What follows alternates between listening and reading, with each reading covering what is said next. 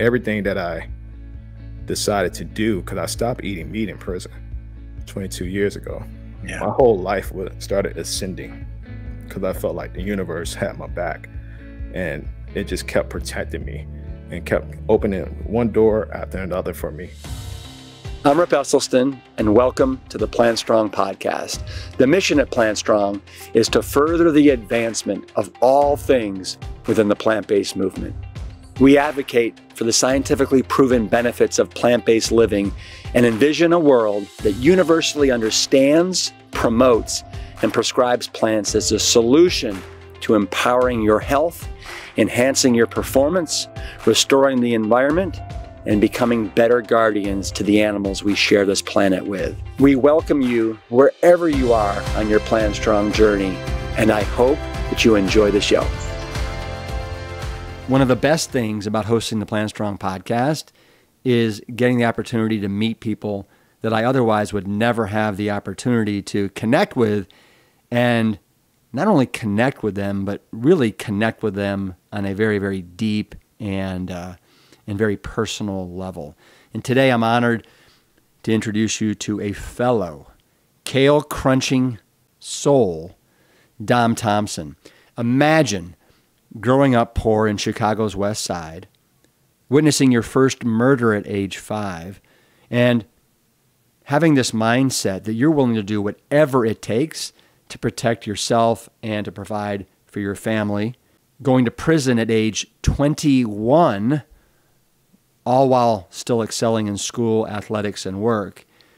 And it is a background that is so vastly different from the one how I was raised, but it is a super important story to tell because to understand Dom Thompson today, you simply have to look back on his past.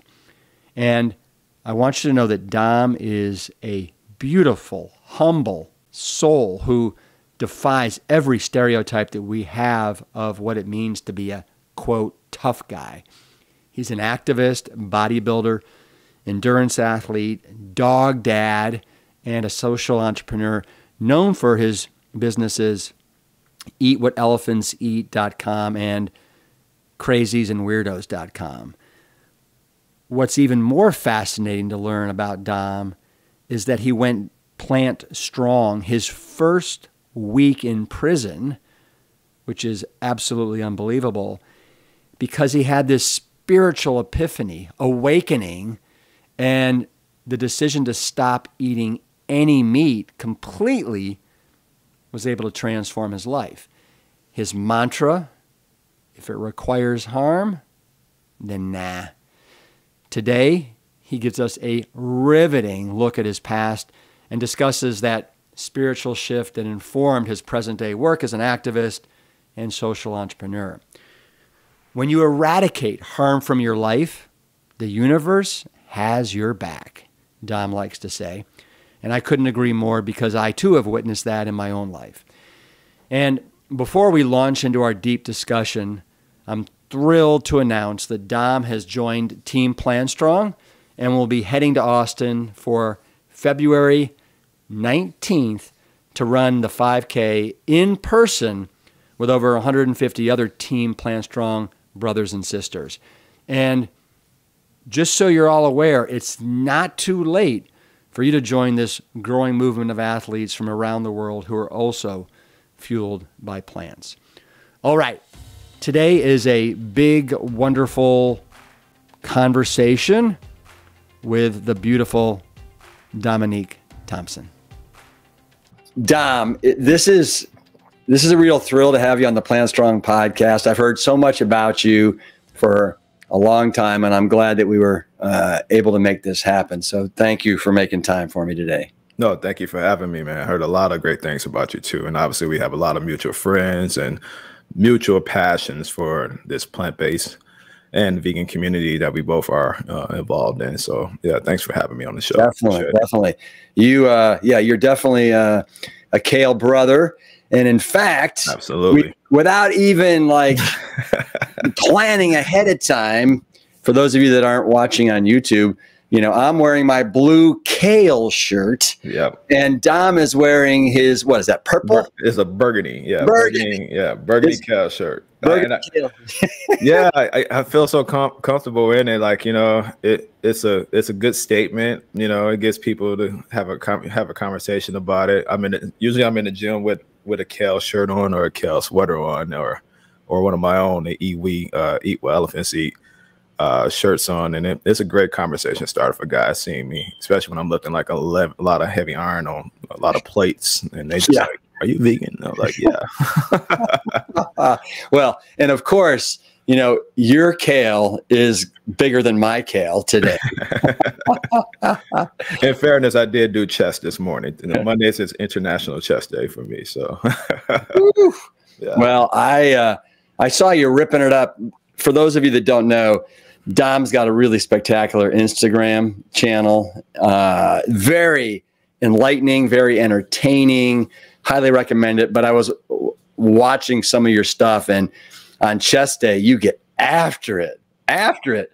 I mean, yeah. le- level, down, up, you name it, man. You're hitting every angle yeah, it's important to hit um, a combination to shock the body, the pectorials, and and more. I think a lot of guys and, and people in general, men and women that get in the gym sometimes forget it, forget to hit different muscle groups and different angles to help the growth.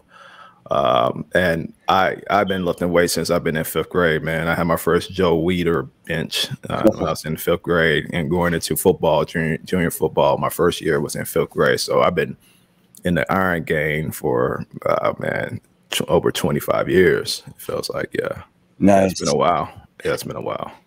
Um, Dom, I, I can't wait to unpack your your your story, which is it is so uh, it's so inspiring, and you know, to me, you're like on the when you know your background, you seem like the last person that would ever be, you know, vegan and be an activist and plant based and be such a big hearted, compassionate, you know, wonderful human being. But yeah. you are, right? And I, that, yeah. yeah. And so you're kind of you're self-described as all these different things, and I, I want to ask you about it, and then we'll we'll talk about each one. Sure. Yeah. So, so one of the yeah. first things that you say is you're a son. Yeah. And I, would love to know what that means to you. Yeah. Uh, I come from a, a single parent home. Uh, my mother raised three of us. I'm my mother's only boy. I'm the youngest. Uh, I have two older sisters. And what that means to me, because she worked multiple jobs as a nurse, uh, trying to keep food on the table and trying to keep a roof over our heads. We stayed in a uh, originally a one bedroom apartment on the west side of Chicago.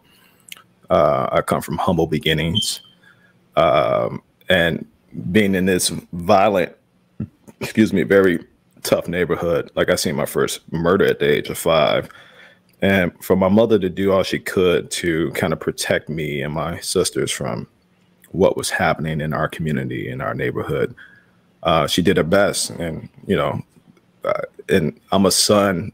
To me, means the fact that I can appreciate all the things she has done as a parent to do the best she she could do with the hands she was dealt with. Uh, whether she had to work two jobs and even sometimes working three jobs, she would work nursing homes in the evenings, third shift, and even on the weekends to the point that me and my sisters wouldn't see her. And that's how I learned to cook actually, because uh, I had to do a lot of defending for myself and cook a lot for myself. It's mm. kind of hard, kind of hard having teenage sisters to depend on. uh-huh. uh, growing young boy, uh, but yeah, my mom was and still is the rock of our family. She's an amazing woman. She's the most uh, selfless human being I ever met. She would literally give her all her all her last to a stranger on the street.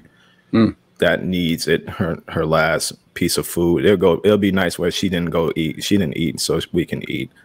Um, that's how bad things was in the beginning. So yeah i'm i'm a, I'm a son proud son of an amazing amazing strong black woman. What's her what's her name? Maria. That's her name maria. Yeah. Maria.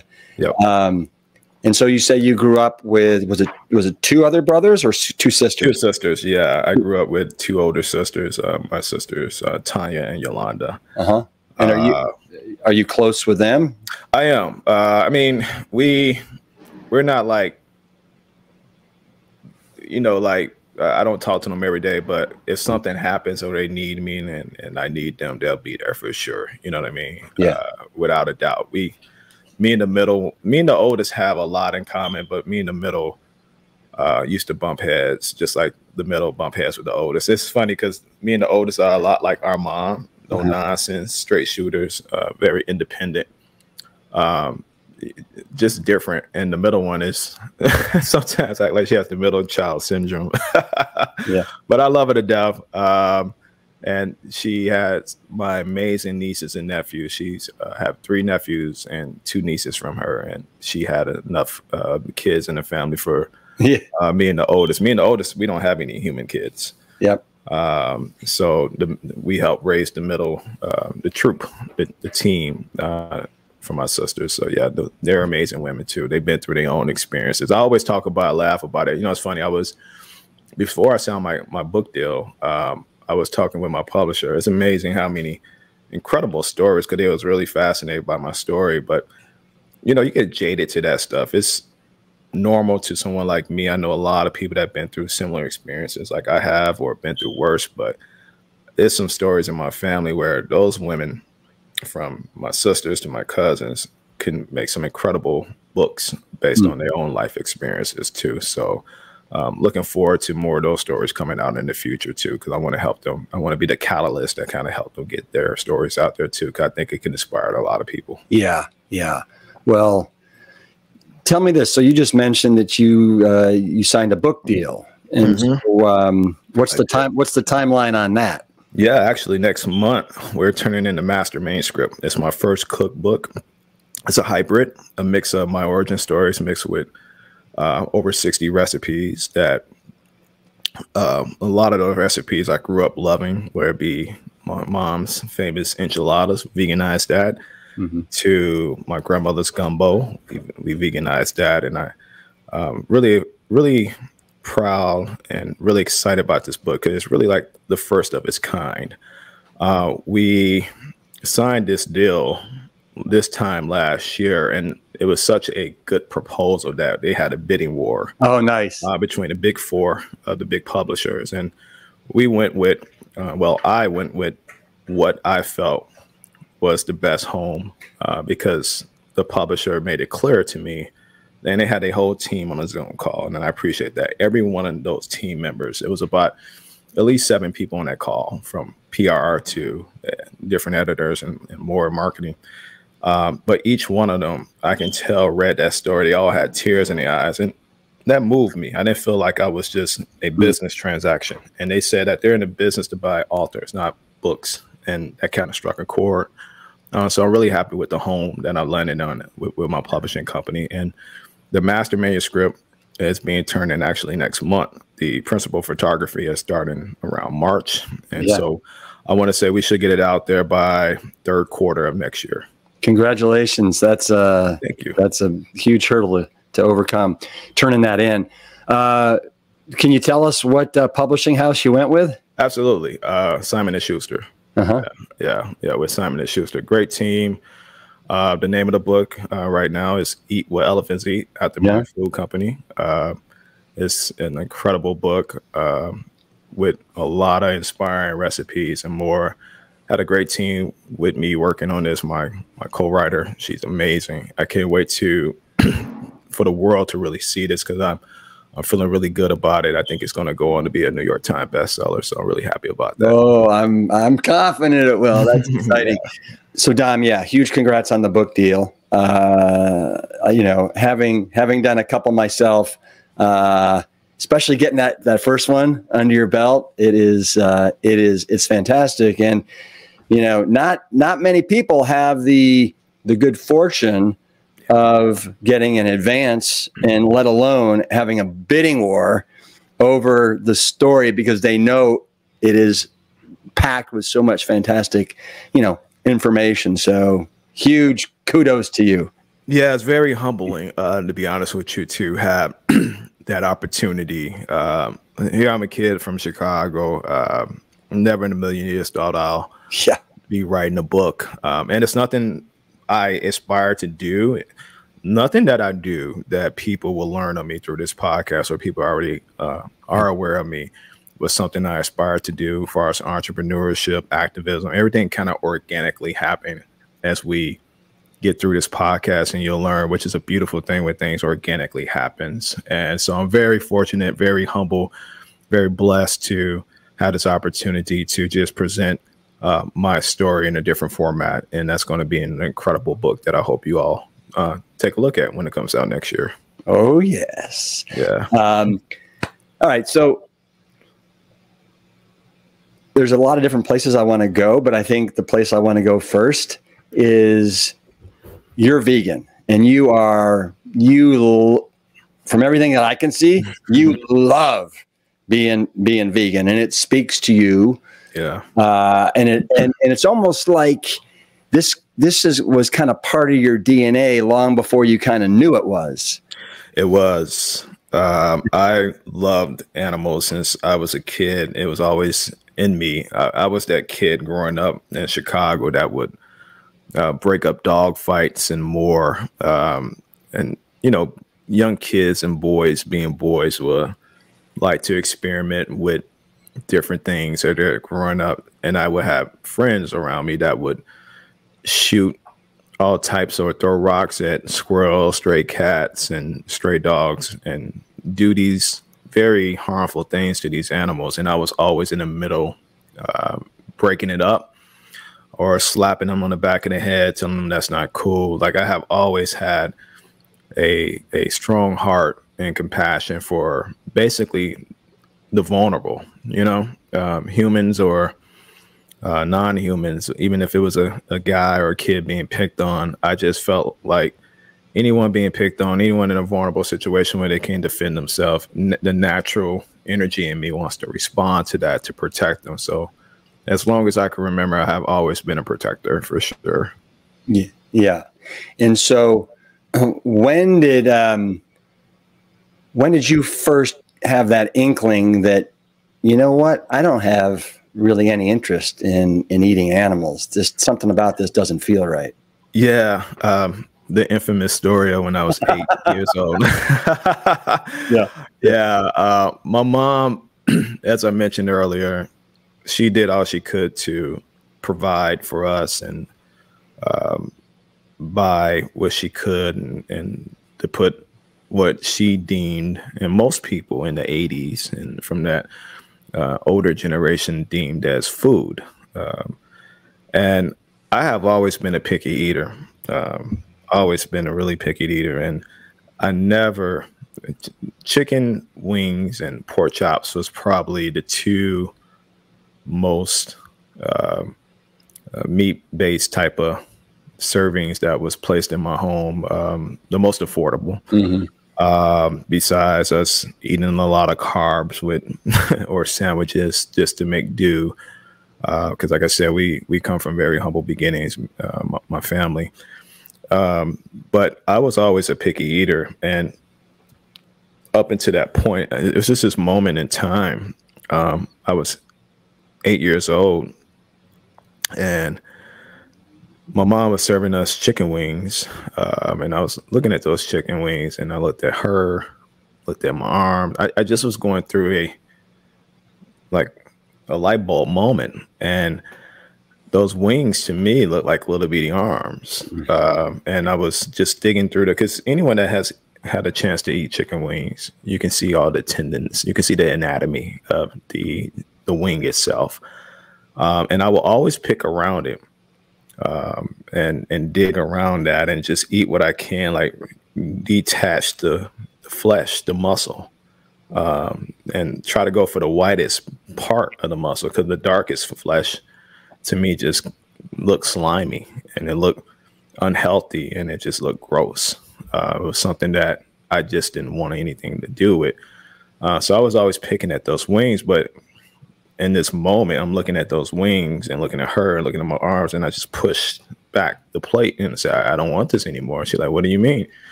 I was like, They look like little bitty arms, and I don't want to eat this. And you know, it's kind of hard to tell a uh, a very strong, um, mm-hmm. independent black woman um, that's no nonsense from the civil rights era uh, that you're not finna eat her food. Uh, uh, but she, I'm a chip off the old block, and my mom have always uh, taught me to speak my mind, even to her. And mm. so she was like, "You're not going to eat then," and I was like, "Well, then I'm not going to eat." Um, and we kind of had bumped heads in that moment. Uh, but she, you know, to her fairness, you know, you gotta. This is not the the 2000s. This is not 2022 where mm. your child says, "I don't want to eat meat," and you're like, "Oh, okay, well maybe he'll like this plant based option." You know, you got this young growing boy in your kitchen, um, and you can go out to the the, the grocery stores to buy all these amazing different plant-based options or you know even look online for alternatives uh, but here we are in the 80s and what do you do in that moment? Uh, so my mom went out to the grocery store. And she came back with uh, uh, fish sticks uh, she figured that it was an aesthetic thing for me mask the, the the masking of the what exactly I was eating. It was uh, bundled up and similar to chicken nuggets, uh, where long as I don't see where it's coming from, yeah, um, I can view it as being edible. Uh, and I went on to eat a lot of fish sticks and a lot of chicken nuggets and stuff like that. So she was kind of smart by doing that. Uh, and that was that moment where I kind of, my first experience with realizing I don't want to have anything to do with meat. The problem with that is I didn't go down the rabbit hole as much as I should. And, granted, I was eight years old, but still, um, I still could. I, I should have continued to explore that uh, because that memory is the same memory that would later on at the age of 21, 22 come back into my psyche, into my thoughts when I was on my knees praying in my jail cell when I was serving time to trying to figure out what was I doing in prison besides the crime that I uh, took responsibility for, uh, but trying to figure out it was there a deeper meaning and everything came back into my mind in that moment in time when I was praying to that little boy that was eight year old Mm. And that's when I realized that you could be an eight year old Dominic or an 80 year old Dominic or an eight year old Rip or an 80 year old Rip. And if you don't follow through what karma shows you, it's going to come back to kind of repay you in some capacity. It could be through um, disease, it could be through economic hardships, it could be through a loss uh, in your life, a health issue, and pain and suffering. And that was my moment where I realized that um, karma came back full circle and then wanted to remove me from society when I was serving time. And that's when I truly made the full circle connection when I was 21, 22, sitting in my jail cell and had that aha moment that created this mantra organically came in my mind that if it requires harm, then no, and I don't want to have anything else to do with it. And that was 22 years ago, where I haven't had meat in 22 years and I never looked back. So wow. yeah. So if it requires harm, then nah. That's yeah, then nah. Then nah. Nah. N A N A H nah. Yeah, nah. N A H H nah. Or if you're in the South, N A H. Or if you're in the North, N A N O. No. No. No. Just absolutely not, nothing. And that mantra has stuck with me to this day. And it's the very foundation of who I am as a human mm. and the foundation of my integrity. Mm. Love it. Tell me this because I want to know. And it, it, sounds like your mom was your your rock, just absolutely incredible. How did you get from being that eight year old that basically said, you know, you know, I, I don't want these chicken wings, to being, um, I, I, guess you call it a criminal, and then getting put in jail? I would think yeah. that your your mom somewhere along the line would have put her foot down and done everything she could to say, Dom, you're going down a bad path, and I we got to stop this. Yeah, I mean, again, um, being in the environment that I was involved in, um, there was definitely different influences that I just couldn't escape. There's a time, yeah, um, that a, a, lot of young black men, especially in the '80s when crack uh, crack was introduced to our communities, uh, um, sadly through our government, but that's another story. Uh, there's a time where a lot of us hit a fork in the road. Um, and I, I, certainly hit a fork in the road where uh, sometimes you have to throw and go through, as Jay Z once put it, men have to do men things for men's salary. And I had to hit these bumps regardless. I, I regardless of the car, type of car I was driving in or the type of road I was in, uh, some potholes were simply unavoidable. Mm-hmm. Um, and we'll get over that pothole but we had to experience that pothole. We had to experience that flat tire. We had to pull on the side of the road and change that tire to continue to go on to that road of peace and that role of compassion, what people know me as today. Um, yeah, I'm not innocent. I went through some things and I experienced some challenges. Um, but sometimes you had to to become a better person without struggle. Like Frederick Douglass used to say, it can be no progress. And that was my that was my timeline. Um, needing to go through what I needed to go through. And sure, my mother was this very strong woman, but it's only so much she can do sure. to protect her kids from the streets or the streets, uh, protecting the streets from her kids in some capacities, if that makes sense. Uh, and uh, my experiences and who I was is not a reflection of who my mother was mm -hmm. as a mm-hmm. parent, as a woman, um, those are two different experiences. Um, and we just live in a society, and certainly back then, where certain things was just biased and and and challenging for us to get out of. Um, and I had to go through that. Um, and I have no regrets because it made me a better person mm -hmm. for sure. Um, I don't take that away. And I took full responsibility. I'm not playing the victim. I'm not saying that it's someone else's fault. Um, but I did what I had to do um, and and served uh, time for it for sure. Yeah. What can you tell me? So, in high school, yeah, would you would you say you were in the you were on the football team? Yeah, yeah, I was a really great football player. Yeah. Okay. What what position did you play? Middle linebacker. Oh man, okay, yeah. that's yeah. That's, that's a good. I already know. yeah, that's who I am through and through, head to toe, energy wise. Yeah, I was uh, uh, that H back, uh, what we call the Husky back. Uh, yeah. Our, our mouse, mascots was Huskies, and um, yeah, I was an H back in the middle. Started out at the outside linebacker, did an incredible job there. Yeah. Used to destroy some of those guards, try to pull on me and block on me. And um, but I, I excel so much as outside linebacker. Um, and granted, I was a little bit small to be as far as height. Um, I'm mm -hmm. about mm-hmm. six feet. Um, and but those boys, you know, I played for uh, Class 6A high school. It was pretty big high school, and we played in the big league. Um, but it was some big boys on that line.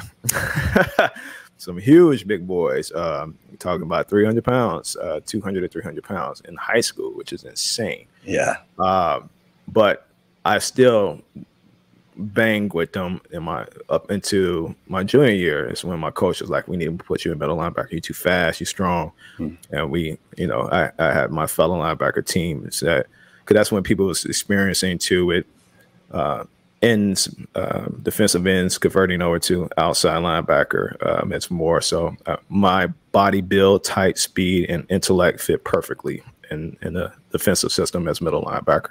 Yeah. And so, uh, correct, help me out here because I'm seeing you as this incredible football player. Yeah. Probably, probably had a leadership role. Yeah, I did. And so, and so, where where does where do you kind of get mixed up in in gangs and I guess drugs and stuff like that? Yeah, because uh, like that culture doesn't mesh with the other one, and I'm but I'm ignorant, right? Yeah. Yeah, this is Chicago, not Texas. Okay. Um, yeah, it's, it's different, man. Football player. Uh, yeah, I, I, I play football, but we have all season, and we also have the pressures of growing up in a society where, you know, families need money, people need money for for the littlest things. And yeah, football was something that I absolutely loved doing. Just like I did advanced architecture. I, I did advanced architecture in high school where I was killing it.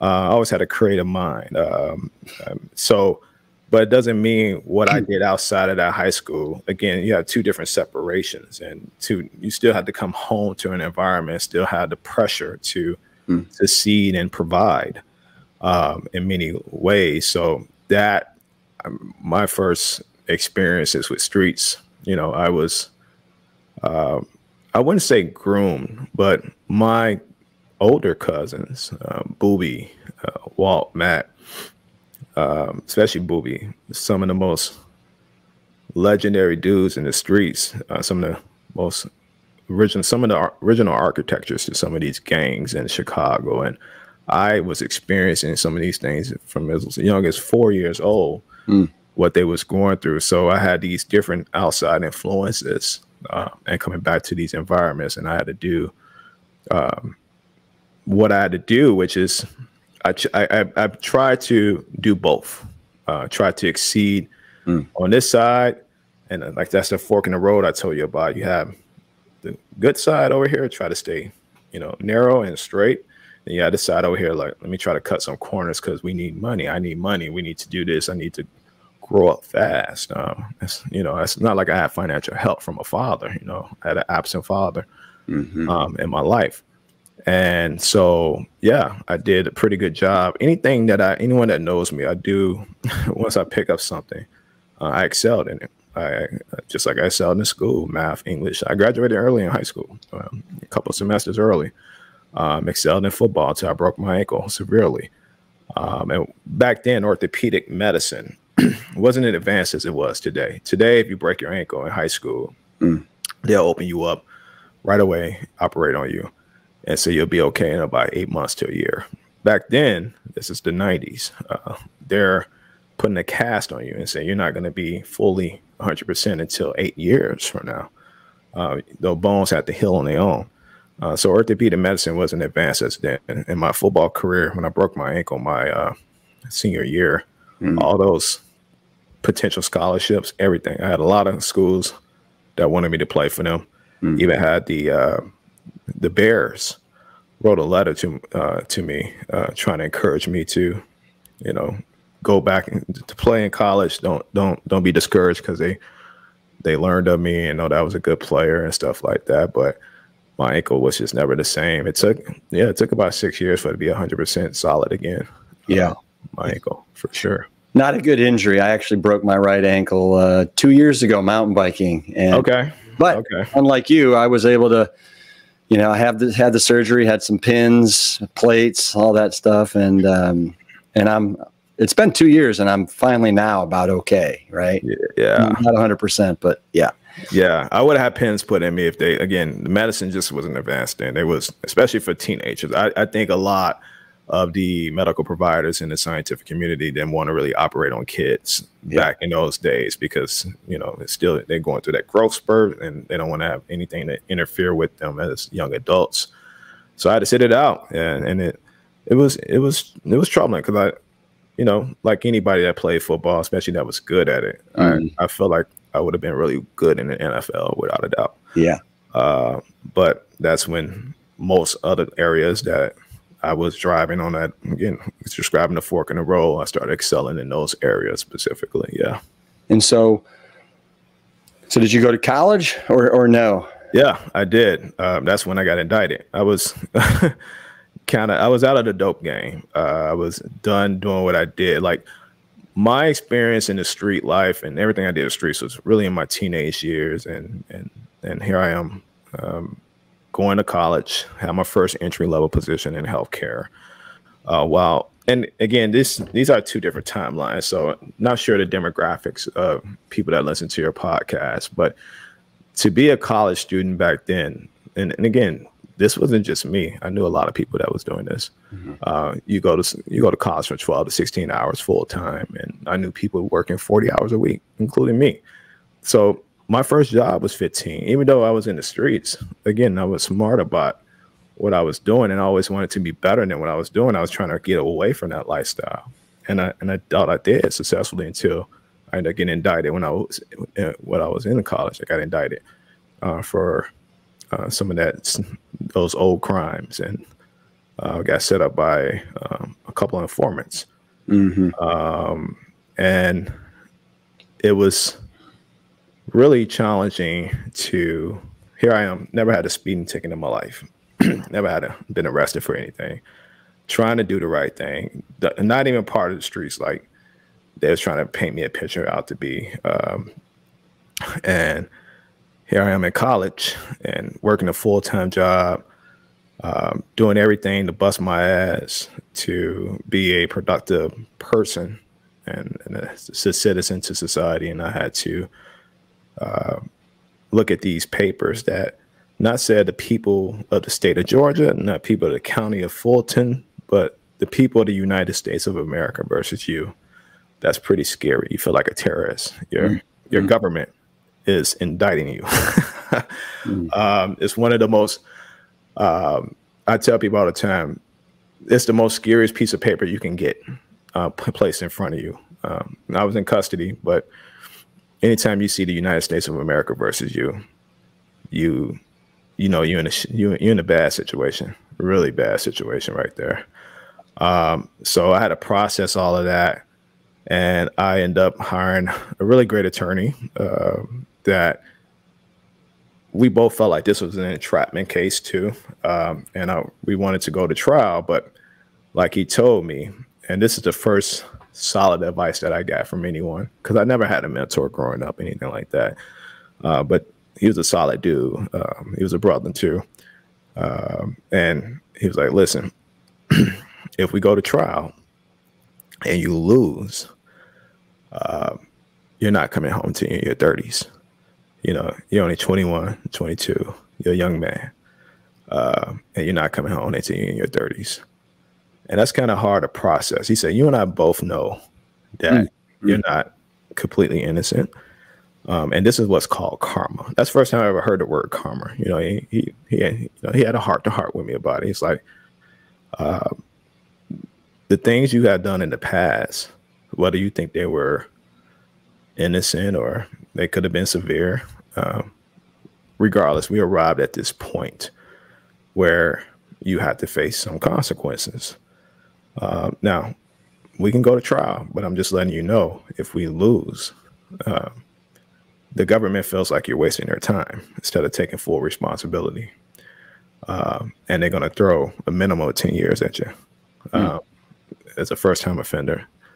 And that's kind of hard to process. And that's when I was I was doing a lot in my life, and I grew up fast um, in my teenage years. There was so many things I was doing at the age of 15 that I can write a whole book on. that even young men to older men to this day haven't experienced that I have experienced.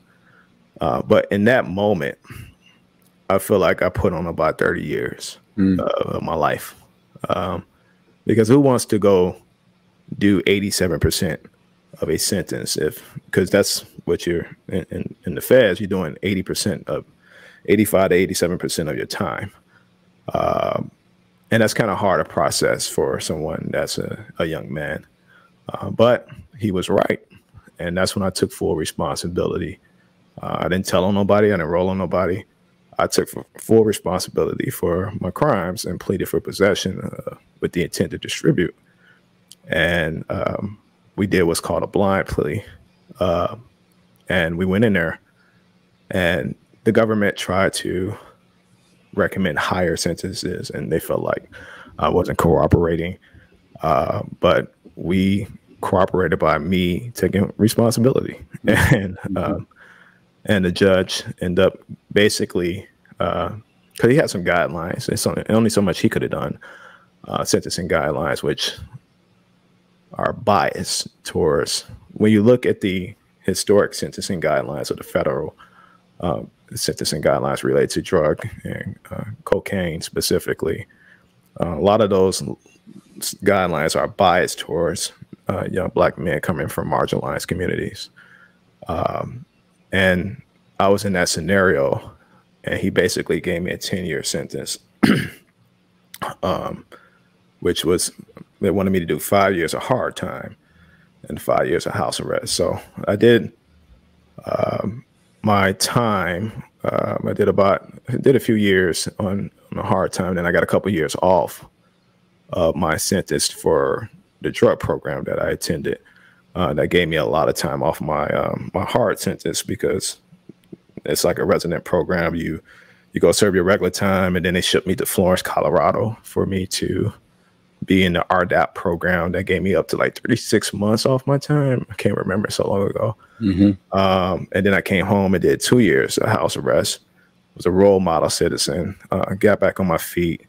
Uh, basically, spent my whole 20s dealing with the judicial system, trying to get back on my feet. Then we went back in front of the judge, and even though I was on curfew and house arrest, they would allow me to work, and I showed and excelled um, in corporate America. I was able to get that first entry level position that I had received in healthcare when I was in college. Um, the health system, MacNeal Hospital, took a second chance on me.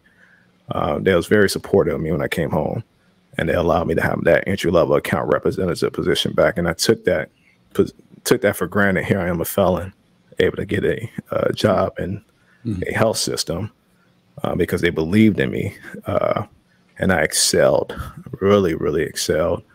And I was able to get three years off my house arrest sentence. So um, I finally got a chance to breathe where I didn't have any responsibilities, uh, pay my my fees and my fines and restitution um, and serve my time and really excelled in healthcare to the point that I uh, went to the sister company, Chicago Health System, and started negotiating the contracts for the hospital, for the IPA and the physicians, uh, two different medical groups that I managed on the north side of the hospital and the west side of Chicago, mm. and even excelled in that to the point that a company called Multiplan recruited me in the South, and they wanted me to run the South region parts of the market in the South far as business development and managed care contracting. So my tra- trajectory kind of mm. went, continued to excel uh, because this is one thing that a lot of people don't talk about when it comes to um, going through the same experience that I went through, or even vegans talk about when they remove themselves from oppressive systems and supporting industries that are doing just harm to other living beings and ecosystems. They don't talk about the spiritual side. And to me, everything that I decided to do, because I stopped eating meat in prison 22 years ago, yeah. my whole life started ascending because I felt like the universe had my back and it just kept protecting me and kept opening one door after another for me all because I truly was dialed in into this new lifestyle of doing no harm without if it if it requires any harm, not doing any part of that or being a part of it consciously knowing. And it ha- has my back up until this day.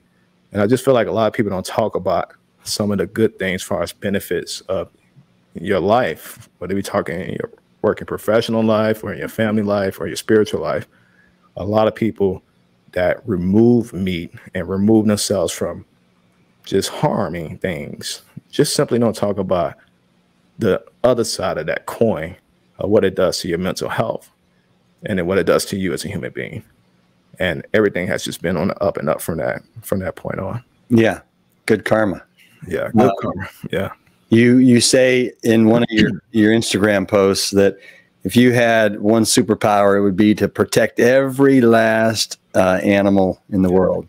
Yeah, and I mean that. I do.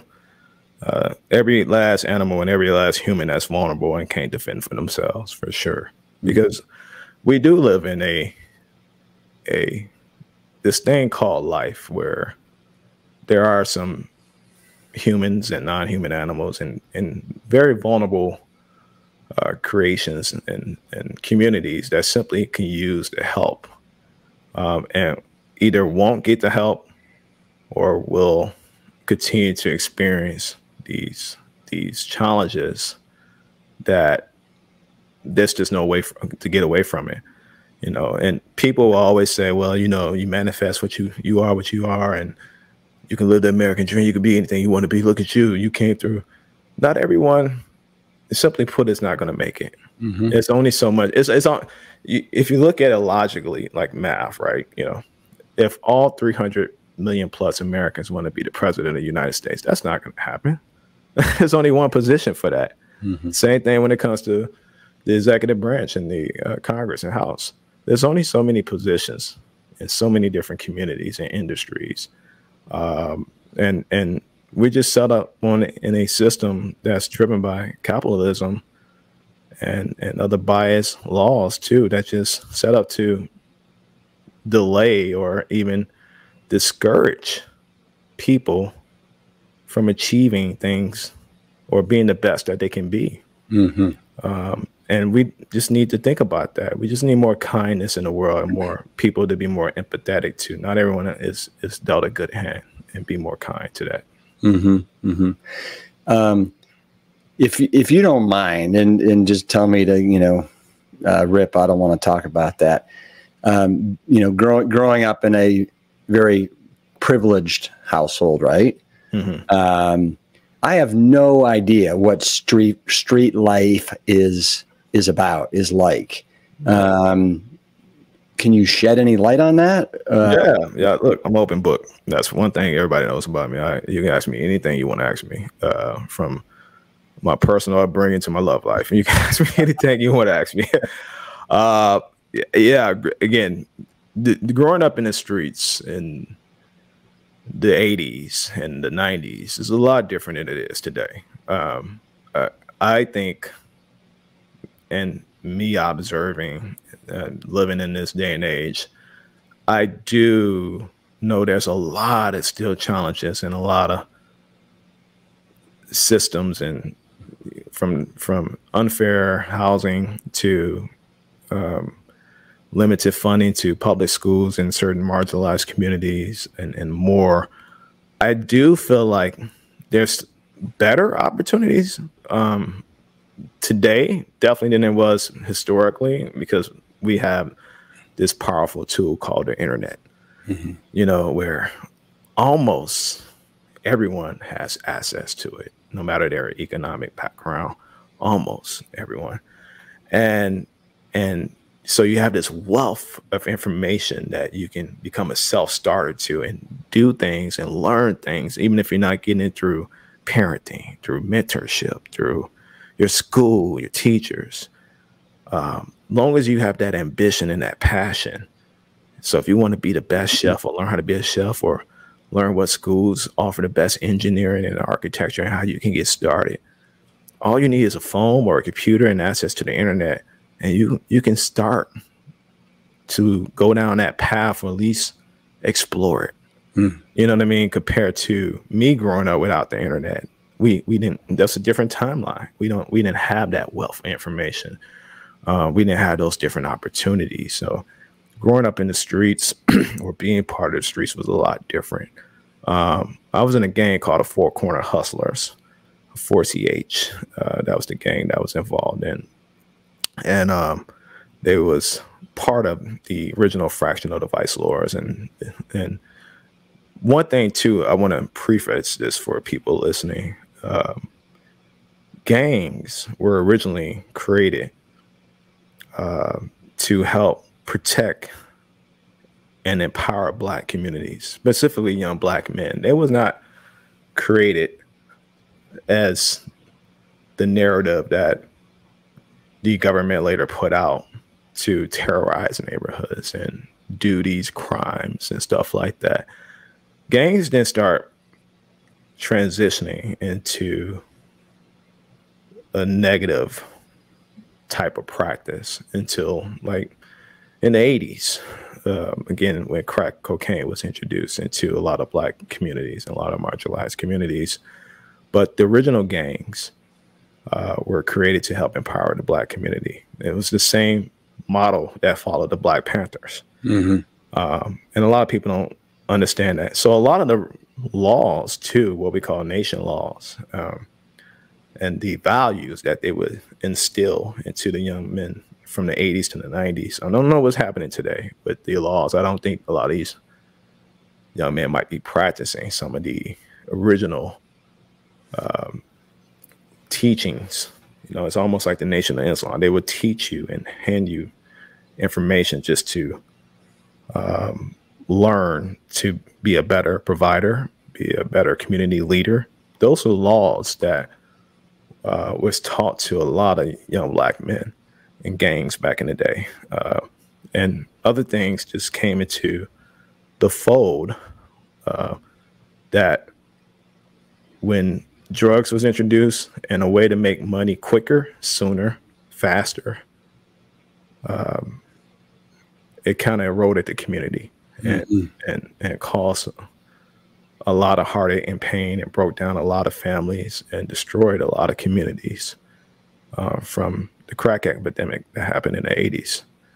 Uh, so everything started stemming from that. And then you can look today to there are still men and women serving federal time, uh, even for crimes related to marijuana. Yeah. Um,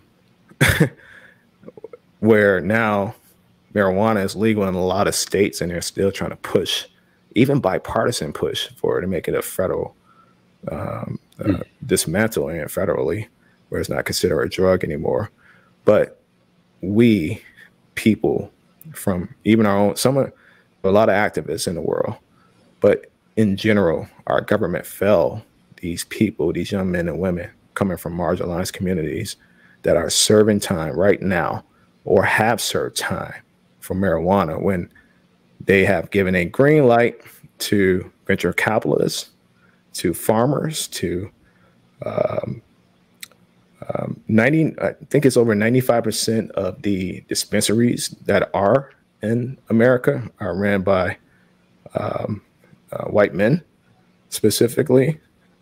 Um, and it's just a biased system where now that it's socially accepted, you forget about those you exploited and demonized for trying to make money for their family through this community and industry that eventually destroyed that family and removed that father figure, removed that young son from that family dynamic that could went on to been doing great things uh, if it was more socially accepted. So there's just a lot of yeah uh, heartache involved um, when you talk about that part of street life when it comes to drugs in the community, because now it's becoming more socially accepted, where before it wasn't, and a lot of people that was in those positions that was just trying to make money for their families were demonized and served time or still serving time and just set them back where they still are trying to uh, bounce back from them situations. Yeah. Um, so you went to prison yeah. when when you were 21 is that right? Yeah i was indicted when i was 21 21 22 around that time yeah. Okay all right. Yeah. and, and what was prison life like? Yeah it was every day felt like a sunday. Uh, a sunday afternoon. Every day felt like a sunday afternoon meaning slow. Mm. um, you lose sense of time in there. Um, a lot of times. You got to stay busy. I stay busy. I read a lot of books. Uh, I didn't have money coming into my commissary. Um, you know, again, I come from a poor family, and my mom couldn't afford to send me too much money. You know, um, and so I had a little money on my books for just buying little groceries from apples to fruits and stuff like that because I stopped eating meat my first week in prison.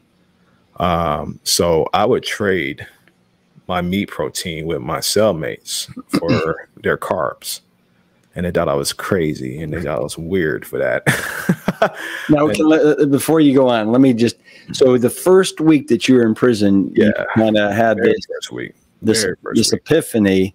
But uh, like, what was it that hit you that hard in the face that okay, I'm not eating meat and I'm gonna you know, give up my meat and take the uh, my my cellmates uh, carbs.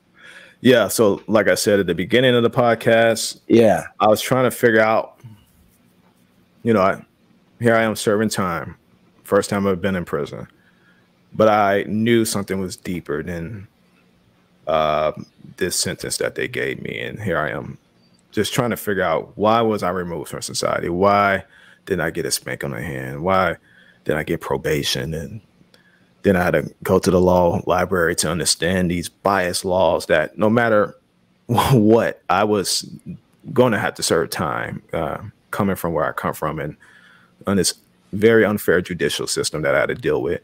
But to me, again, I felt spiritually wise, there was something bigger going on. Mm. And that's when I got down on my knees my first week uh, to that's pray right. on it. Um, I'm not religious, I'm spiritual. I do believe in the universe and a higher energy. And I, I do believe there's just undefined power that none of us would truly comprehend or understand or has a monopoly on the truth. And I was just trying to search for that. And everything pointed to that childhood memory that I described when I was eight years old. Um, and it came into my thoughts right then and there, like a light bulb. And I was like, I get it.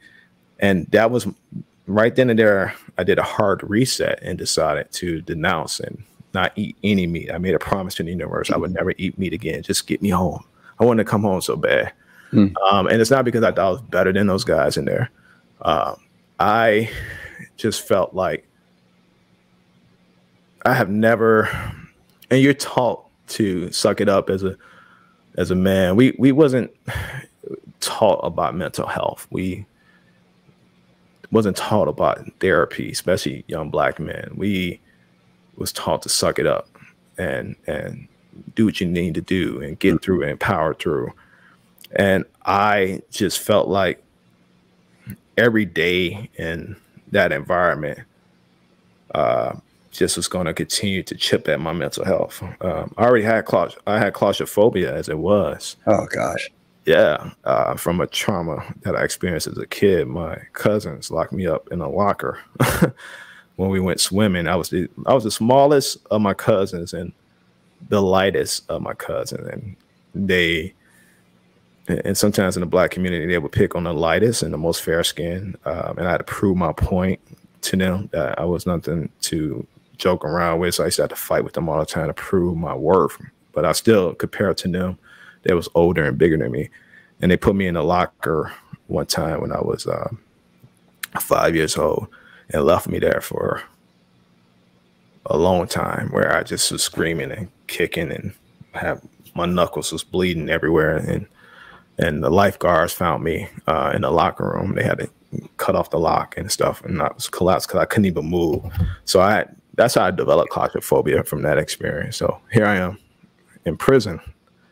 I didn't fear the, the, the men. I know how to handle myself really well when it comes to uh, dealing with other human beings physically if I needed to. But I feared this phobia and feared my mental health. And I just wanted to get home. And I had that conversation with the universe. I had a conversation with God and and made a promise that I get it now. It, it's you can't you can't um, uh, lie to the universe. if that makes sense. You can't lie there's no one to be performative in front of. It was just me and that source and that energy in that moment that I was having this conversation for. There's no cameras, there's no social media, it's just me and this conversation. And I felt like the universe knew that I was truly convicted and truly believed in this new life. And to this day, I never looked back. And it gave me a peace of mind, and I stopped eating meat. I denounced it and never looked back. And that was 22 years ago. And you say the claustrophobia, uh, how big was the cell? And did you feel claustrophobic in the cell? Yeah, the cell. Um, so my holding cell during a detention center, because you you have it's a process. You are at a detention center or um, a facility designated for people that's still going back and forth between trial or people are waiting to be shipped off to their actual uh, to the penitentiary that they're going to serve. Uh, so it's it's almost like a transitional facility, which is kind of worse because cells are smaller and it's it's a lot more crowded, and there's a lot of a lot of a lot of other uh, it's an environment that can make your time worse because people are coming in and out. Uh, people are stressed. Fights are breaking out. It feels like a county mm. in a way, a county jail. If you ever experience a county jail, know anyone that ever experienced a county jail. Um, but yeah, I was on deck when I did that, and then a couple weeks later, I got shipped out to Minnesota to serve the first part of my time. My last part of my time was in Florence, Colorado. Um, but yeah, I got shipped out to Minnesota uh, to serve that time. And that, as you go through your time in the feds, your security levels come down to when you become what we call a short timer after a while. Um, but I was able to get over my phobia. Um, it did almost break me and challenge me. But what probably really did get me out of that experience of being claustrophobic was when I went to the hole. Um, I was in the hole for exactly 40 nights. Um, what is the what is the hole? It's this SHU segregated housing unit. You're separated from uh, the uh, population of the uh, the main population of the prison for fighting or whatever you in the hole for um, to contraband to yeah. Know, why did you get put in there? I got into a fight. Uh, this guy i was playing chess with um, i was one of the best chess players in my prison i've been playing chess since i've been five that's another th- fun fact that people don't know about me nice. nice i'm really good at chess really really good um, and I probably, I don't know, won over 500 games in prison and lost probably a total of like 11. Yeah. You know, that's how good I was because there's some incredible players in there too. Uh, but this one game I was playing with this guy right before count time, we would have what's called count. You have to, five times out of the day, you have to be in your cell or at your workstation or wherever you're designated to be at uh, when the uh, COs uh, walk through the entire compound to count, make sure no one escaped. No matter where you're at serving time in the feds, you can be in the hole, you can be top security, you can be low security. It's called count time. Everybody knows about count, and everybody knows you do not fuck up count. You do not mm-hmm. mess around with count because if you mess up the count and someone's missing and they have to go recount the whole place, mm. you are not only other inmates are going to be pissed off at you because you're stopping the flow of don't want to go eat. You know, and there might be dinner time for at the counter. you're stopping the whole scheduling of the prison system.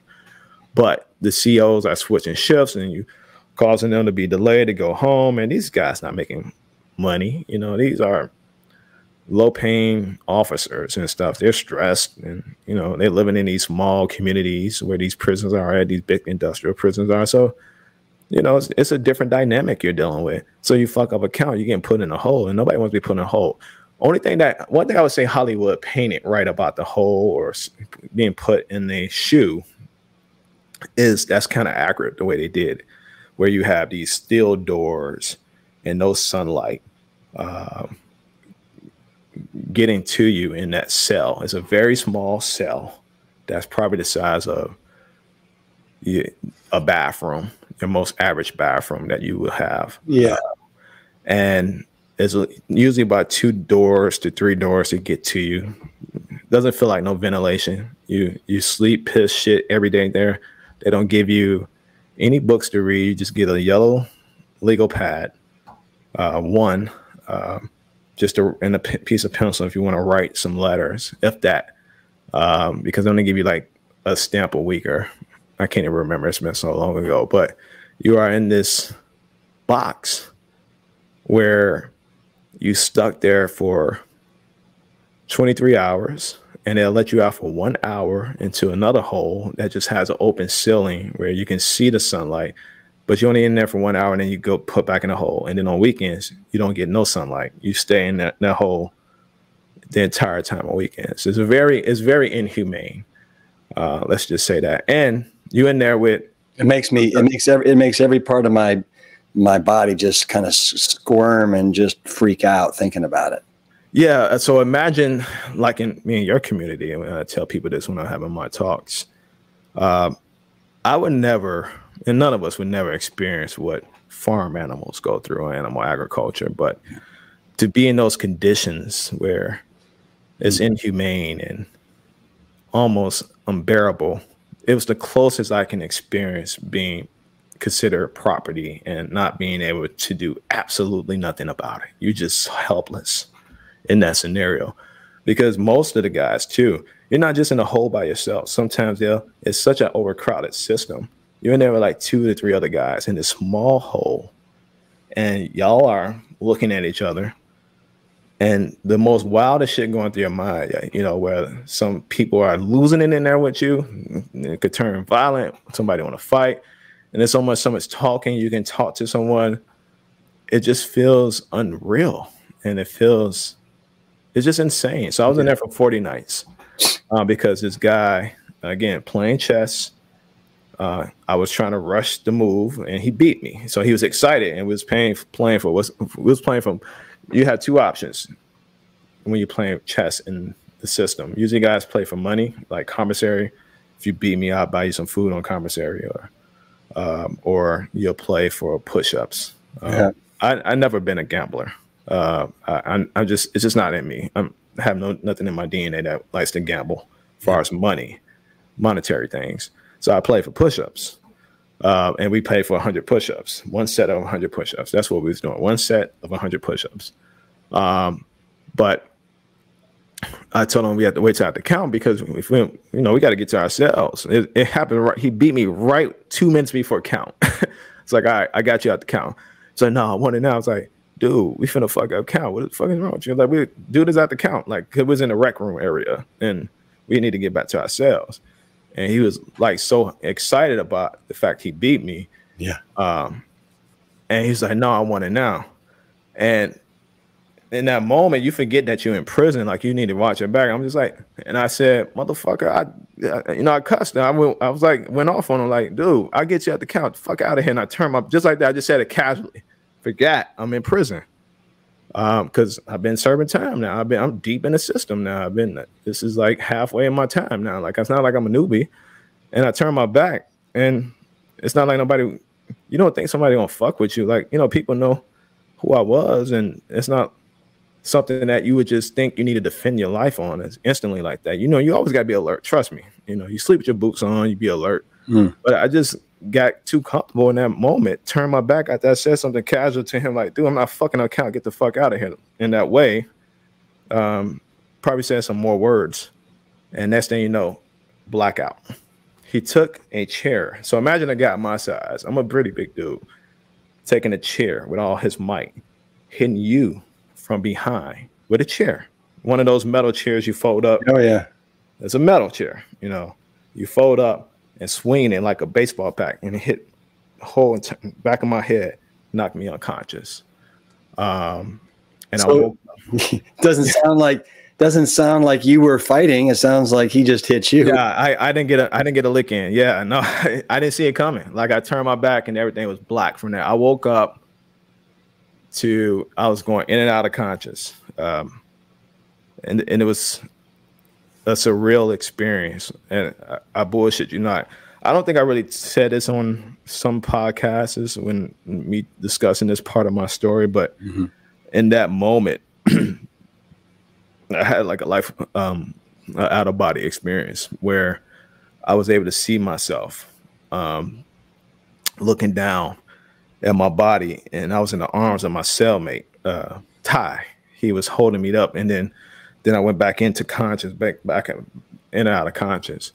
And then I looked back up, and I'm just everything was blurry, and, and Ty was holding me like you know, he was rocking me. He's like, "Hold on, uh, hold on, I got you, I got you. Just stay with me, stay with me." And I was just like, "Cause he found me." You know, they was looking for me. You know, my cellmates. The, yeah, the count. Yeah, the count going on the count going on myself and like, yo, fucking Dominic, like, you know, because he don't fuck at the count. Like, you know, they found me in the rec room just lifeless, you know, like just on my face because I felt on my face and he flipped me over and like trying to get me back to conscious, yelling for help. Um, and I, I came finally came to, and then um, uh, the COs rushed over and then they grabbed me up and then I just blacked out again. And next thing you know, I, I wake up. I'm in a hospital with handcuffs to the bed, mm-hmm. um, with tubes on my nose and shit, and and I'm just like, you know, I could feel like all this pain in the back of my head, like what's what's going on, and and I didn't know who I was. I had amnesia. Mm. It's like, do you know who you are? You know, I was like, no, I don't. What? What? Like, it, I couldn't even form words. like I couldn't. I was like, oh, I couldn't even understand what they was talking about, comprehending. And it's like, just rest, just rest. And they pushed me back down, and I just went back like to sleep, and then woke back up, looking at the ceiling, and um, trying to figure out what the fuck is going on. And I looked at the handcuffs again to the bed, and then I see two CEOs at the end in my room in the bed talking to the doctors, and, then I closed my eyes, and then I sw- I kid you not, it was like a computer drive being uploaded, and then I woke back up, and I felt this warm sensation from the back of my neck going all the way up to the top of my head, and all these memories thousands of thousands of memories just started shooting through my head. It felt like bass in my ear. My ears was ringing like do do do do do do do do. It, it was mm. the most craziest experience I've experienced to this day, where these memories are being uploaded into my mind, my thoughts, and my, I started hyperventilating, and I just started shaking the bed violently, like "Yo, get me the fuck out of here!" Like I and up into that very last memory that got inserted when I turned my back on a dude, because now I'm violent now, like I'm the most violent I have ever been in my life because the first thing on my mind is revenge. I wanted to kill him.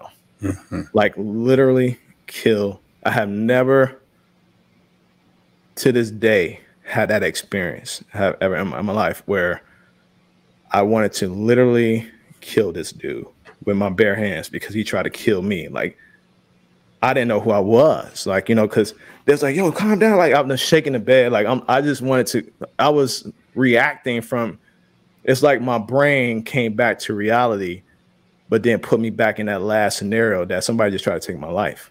Yeah. You know what I mean? So I'm just on defense mode. There's like, inmate, do you know where you are? I was like, yes, I know I am. There's like, where you? I was like, I'm in Minnesota. Get me the fuck out. Like, get, get me out of here. Like, there's like, what's your inmate number? I gave him my inmate number, everything like that. I'm just shaking it. There's like, calm down. Like, yo, you need to calm down. Like, they holding me down. Like, I know. There's like, yo, what happened to you? I was like, yo, I'm just, I'm calm now. Like, just give me back, give me back, give me back. I want to be put back in general pop, you know. I want to go after this dude, you know. Uh, there's like, we we taking you back to the lieutenant. Um, so they took me back to the uh, the prison, and the doctor's like, "Yo, he needs observation. Yo, he just suffered trauma, serious trauma. Like he lost his memory." And they was like, "No, we're taking him back. They didn't give a fuck. They didn't give a fuck. I don't think you can get away with that shit today. I think there's, there's it's not as, yeah yeah, it's a different life now, you know. But back then, they didn't give a fuck. They they so we went back to the prison, and I'm steaming. I'm like pissed. My whole side of my face is swollen because I fell on my face, so my my tooth went into my jaw. My jaw kind of like ballooned up. Um, my my forearm was kind of sprained because I fell on my forearm and my elbow, and so I was in a sling. And I got back to the prison, and they set me down with the lieutenant, the head of the COs, and he was like, "Okay, so what happened, Thompson? What happened?" I was like, I don't know. I was just playing chess with this guy, this stranger. There's like a guy. You don't know who this guy is? I was like, nah, I don't ever. I seen him like once or twice. I don't know who he is. So you don't know who you was playing chess with. You know they they know who it was. They wanted me to make them out, hmm. but I didn't want to make them out. I didn't want to tell on him. I want to get to him 1st mm-hmm. because in the federal system, you are not allowed to put hands. If you caught fighting with another inmate, it's an assault charge. Add extra time to it. It's almost like it's it's worse if you trying to fight a CEO. They do not play that. You are not to touch each other. Um, you will get more time added to you. But they wanted me to.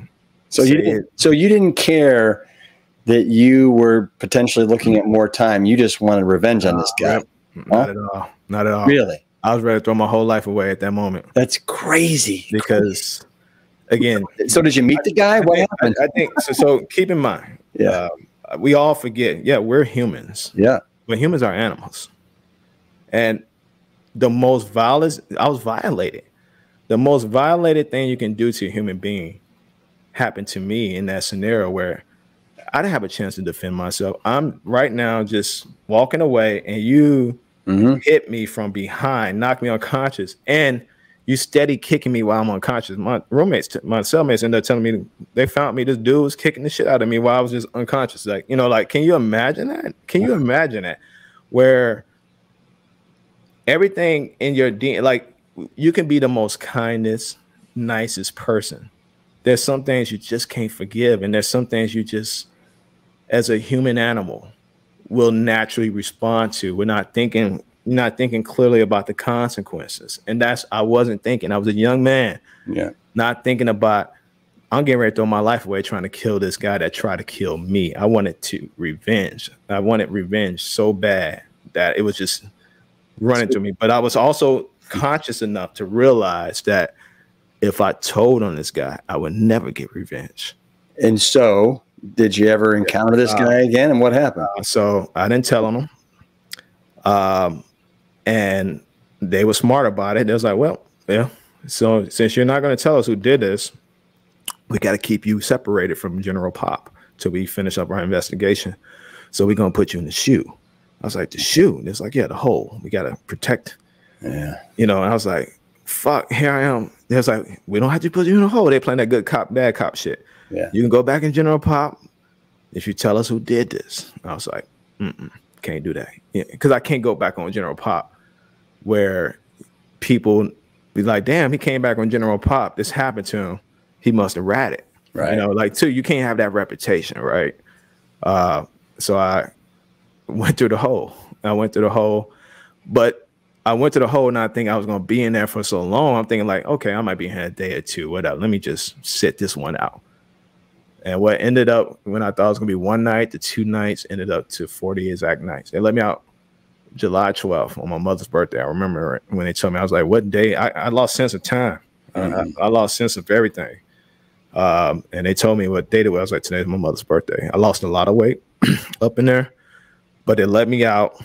Um, were you able to eat, were you able to eat vegan while you're in the I was, yeah, I was eating well, keep in mind. So when I stopped eating meat, I was vegetarian in prison. I wasn't vegan in prison. Yeah. I was vegetarian. So yeah, I was eating okay. the sides and stuff and shit that they uh, nasty shit they was sliding through the doors uh, of the hole.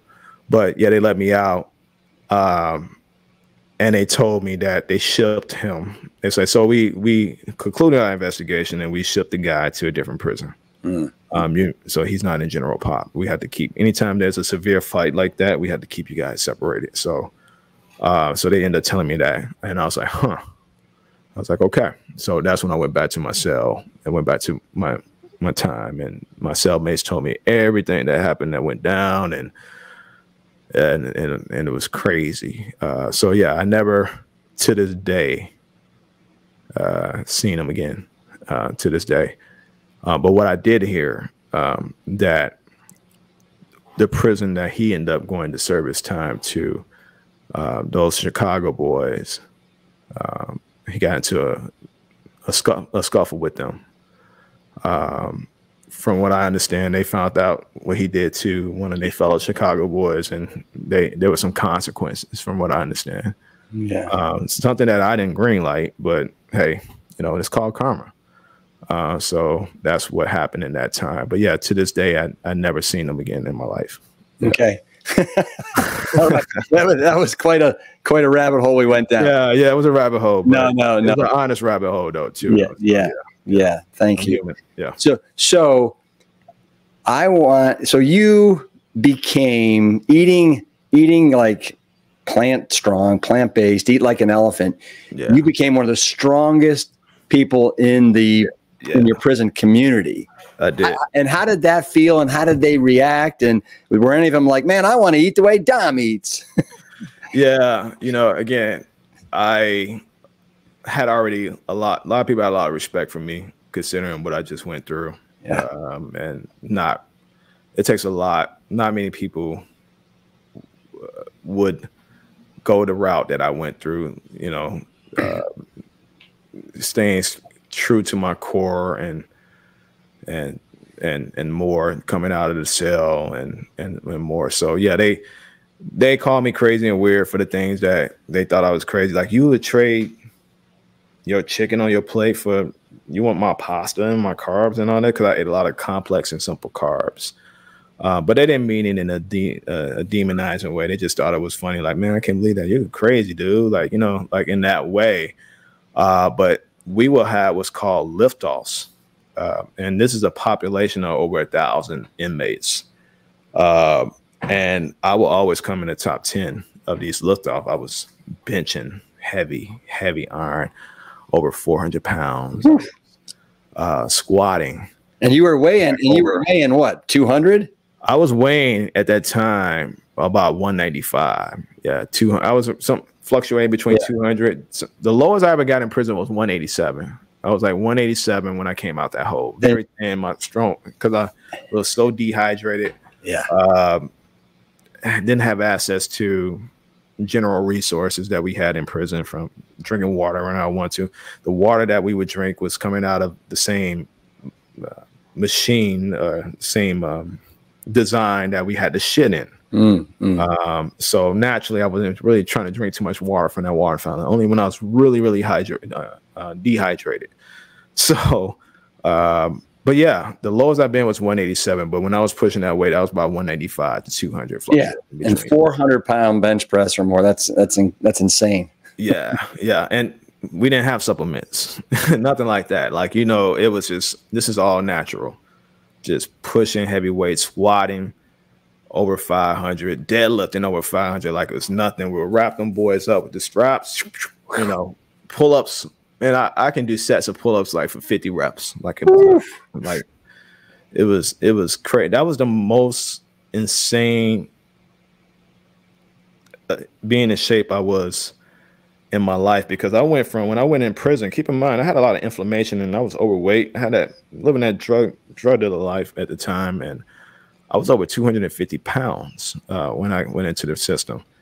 And then when I stopped eating meat that first week, all that within a couple months, mm. it started shrinking. All the inflammation gone, the fat, everything like that. I was a husky dude and went down from a husky dude to a solid dude and started working out and just became strong as fuck um, the science wasn't out there. We didn't have social media. We didn't have books. We didn't have forks or knives and stuff like that. We didn't have none of these things that can teach us what the food you eat does to your body.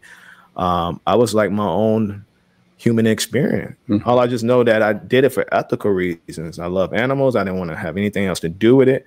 I didn't know what the hell was going to happen to me if I was going to wither away or die. All I know is just this is my decision to stop eating meat and this is my conviction. And well, you must behold, I just excelled in it. You must have loved the way you were feeling.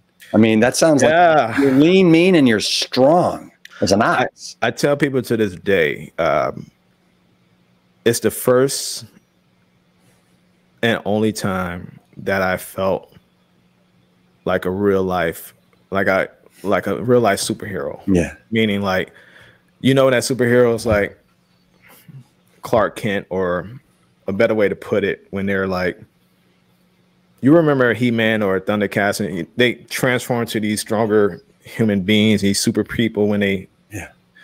hit the sword up or whatever the case may be. But just to feel that transformation where I was seeing my abs and feeling so strong, like it was just, I felt supernaturally strong. It, it was incredible. It was such an incredible experience that I I wish so many more people can experience to this day when they eat vegan and go completely plant based.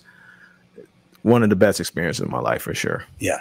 Are you still are you still friends with any any guys that are in prison? No, a lot, a lot of those guys I forgot some of their names because we used to just go by last names in there. It's just a lot like the military. we didn't go by first names. Be like Thompson, Thompson, or yeah. Johnson, or Taylor, or uh, some some some of some of them we went through different street names. I'm I'm only cool with one of them that uh, uh Mike, uh, me and Mike are still uh, cool to this day. He still lives in New York. Uh, Mike was what we he was in my car, what we call our workout car, mm. and Mike was the dude always pushing me uh, and two other guys um, it was four of us. Every everybody that had a workout car had three to four guys in the car, and we call it a car because you guys are like in a car, you right. know. And there's a driver. This is what we're gonna do for the day. It's a whole system routine.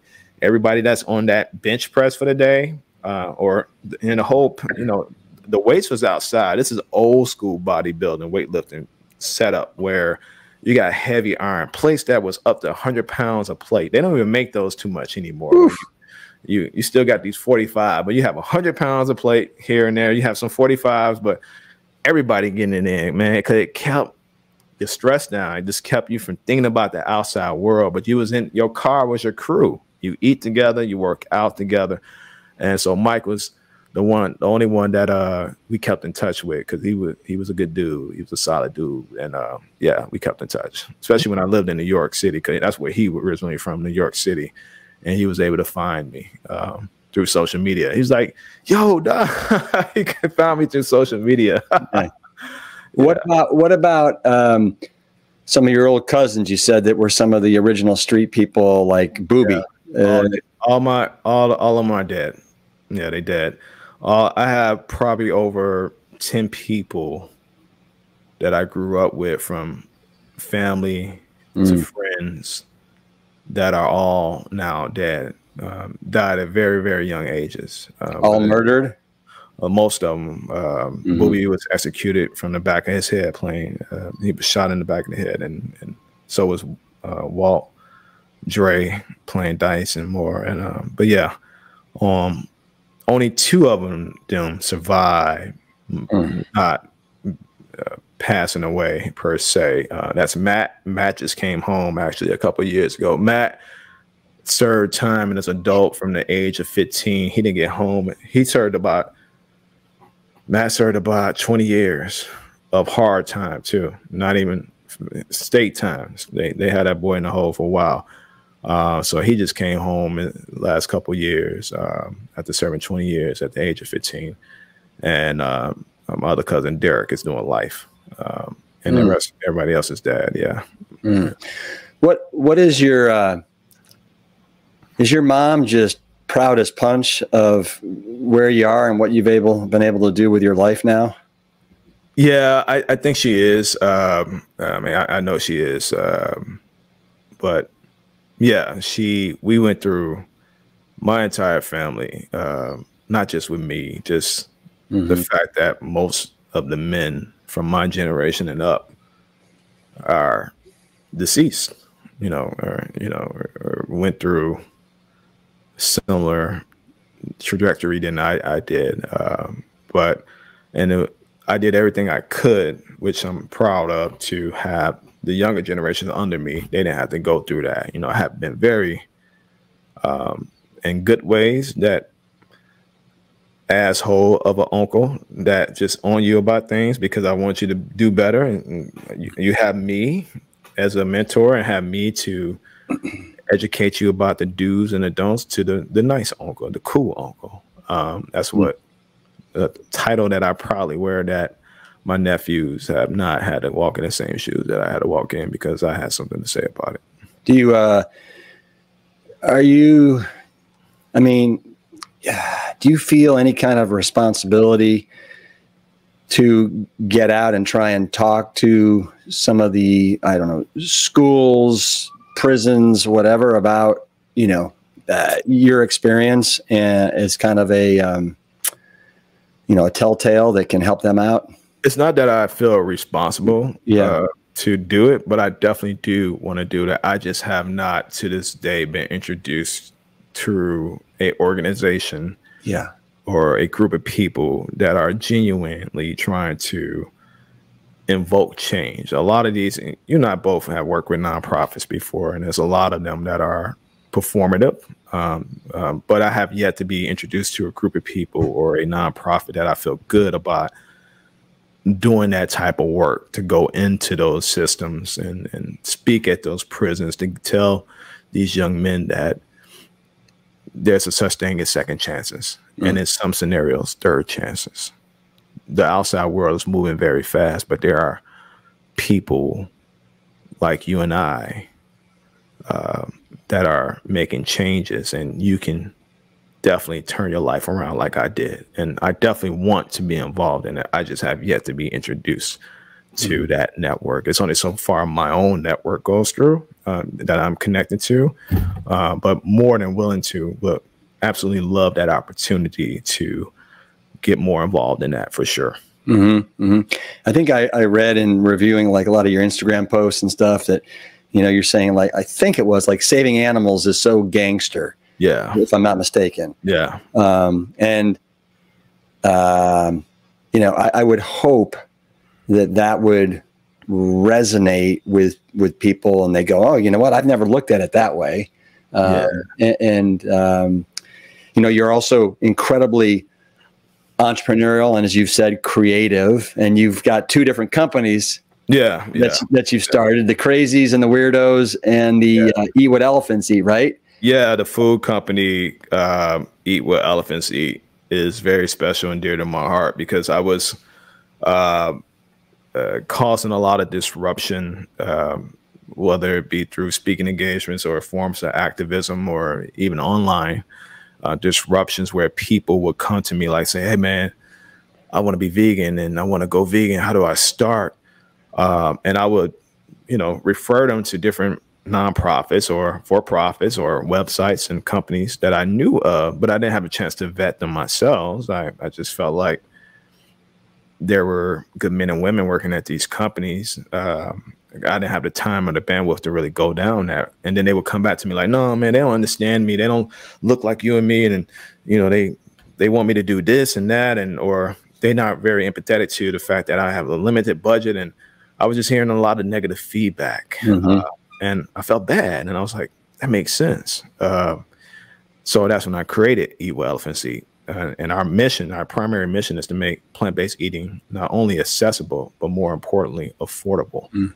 Um, and for as little as uh, $14 a month or $100 a year, which is less than $10 a month, um, you can have access to this amazing meal planning program uh, where you have access to over 3,000 recipes um, and, and great food coaches and RDs and people. You go through this onboarding process that is just incredible uh, through this amazing, amazing team that a few of us in the, the, the PB community share. Um, right. So that was important to me uh, to get that program off the ground, um, and um, and has signed. We have thousands and thousands of happy people that have converted over and ate plant based because of this. And that's phase one. That's our nutritional wellness program, our meal plan program. And phase two under Eat What Elephants Eat is our superfood lines. We're coming out with that uh, next summer. Um, and then phase three and four uh, in the next couple of years, we're going to have a juice and smoothie bars uh, and a couple restaurant concepts where we're going to do food uh, farm to table mm-hmm. Um, and partner up with local um, urban farms and and and teach new locals a new farm skill set while serving on this uh, unserved communities of color.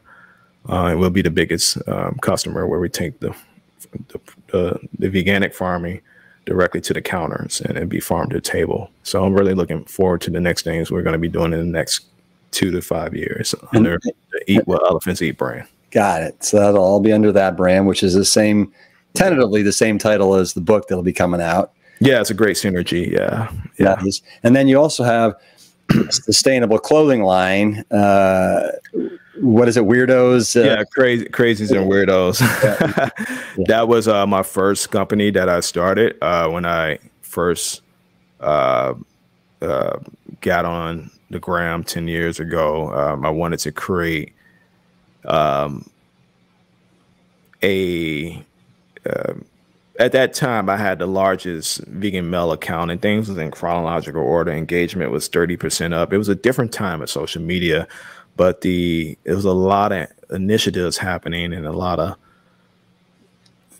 just problems and uh, happening with animals, specifically the elephants in Africa was going through a hell of a huge poaching crisis and the rhinos and they needed funding for drones and rangers. So I thought what cool way than to create a t-shirt to help raise some type of funding or percentage of sales can go to some of these nonprofits. So I created this shirt and I'm always telling people to eat plants, and I was always telling people that the largest elephants in the world are elephants, and that's how they, the trademark, the, the moniker of "Eat what elephants eat" was formed. I designed "Eat" the the the fonts and all of that, but I put the the the saying "Eat what elephants eat" on our first T-shirt, and we sold over five thousand units. Nice. Like within the first quarter, I I didn't think I had a type of impact. It was crazy. uh, I put it on my Jack torso at the time, and and the shirt went viral, where it became the number one selling vegan shirt in the world, mm. uh, where we killed it. And I was like, oh shit, this is incredible. So I was like, we need to do another one and uh, you know continue to do this like every quarter. So I created Clark Kent was vegan. Yeah. Uh, and designed that shirt and that rival eat what elephants eat shirt to the point that Miley Cyrus slid into our DMs like, yo, I'm a big fan of your clothes and your shirt. And I didn't have a social media manager at the time. Like I'm still like trying to learn social media again. This is like eight, ten years ago. Yeah. And she's like, my boyfriend Liam is a big fan of um, this guy Dominic Thompson, and I'm acting like I'm acting like, oh, okay, that's cool. Like you know, I'm typing behind the scenes to these messages where she was messaging me directly. Like I'm no like she was messaging crazies and weirdos, but I'm crazies and weirdos manager, right? Social media manager, because I never, I would brand, I would wear crazies and weirdos clothes as if I was a brand ambassador. I never had that ego to be like, that's my brand. Right. buy my shirts. I was just always like, like, like you got me like this right now. You would never know this comes from a company that I own or anything like that. You know, like I just never promoted myself in that way or exploited me, me, me, me. I think it just, I always kind of knew in the back of my head, people may adore me or hate me as a public figure, but they may love something that I created for as a product as an entrepreneur or a restaurant or food. Um, and they'll support it, but they know I'm behind it and they hate me. They're not going to support it, you know. So I just kind of always separated myself mm-hmm. away from that. Let me just be a face of the brand, brand ambassador of the brand. And here I was still trying to figure out social media, and this A-lister is in my DM and asking and fangirling over our clothes and hey, can you yeah. send us a, a gift package? And I was like, Sure. Okay. She gave us her private Malibu address. Well, me, her about private. And here I am working full time in healthcare. so I'm working. This is before I went on full time as an entrepreneur, uh, working 40 hours a week in healthcare um, and busting my ass, staying up to two or three o'clock in the morning, fulfilling these orders by myself. I didn't have any help. It was just me. Uh, in, in, in my New York apartment. Um, and my ex at the time, she was a lawyer. She hated it. She thought this was beneath us, and she would have an attitude about it.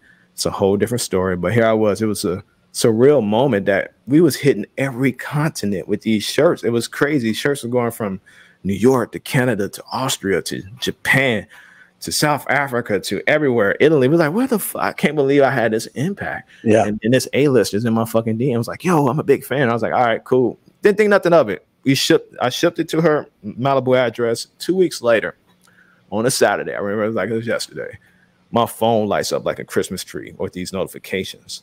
She posted to her 30 million Instagram followers. Oh.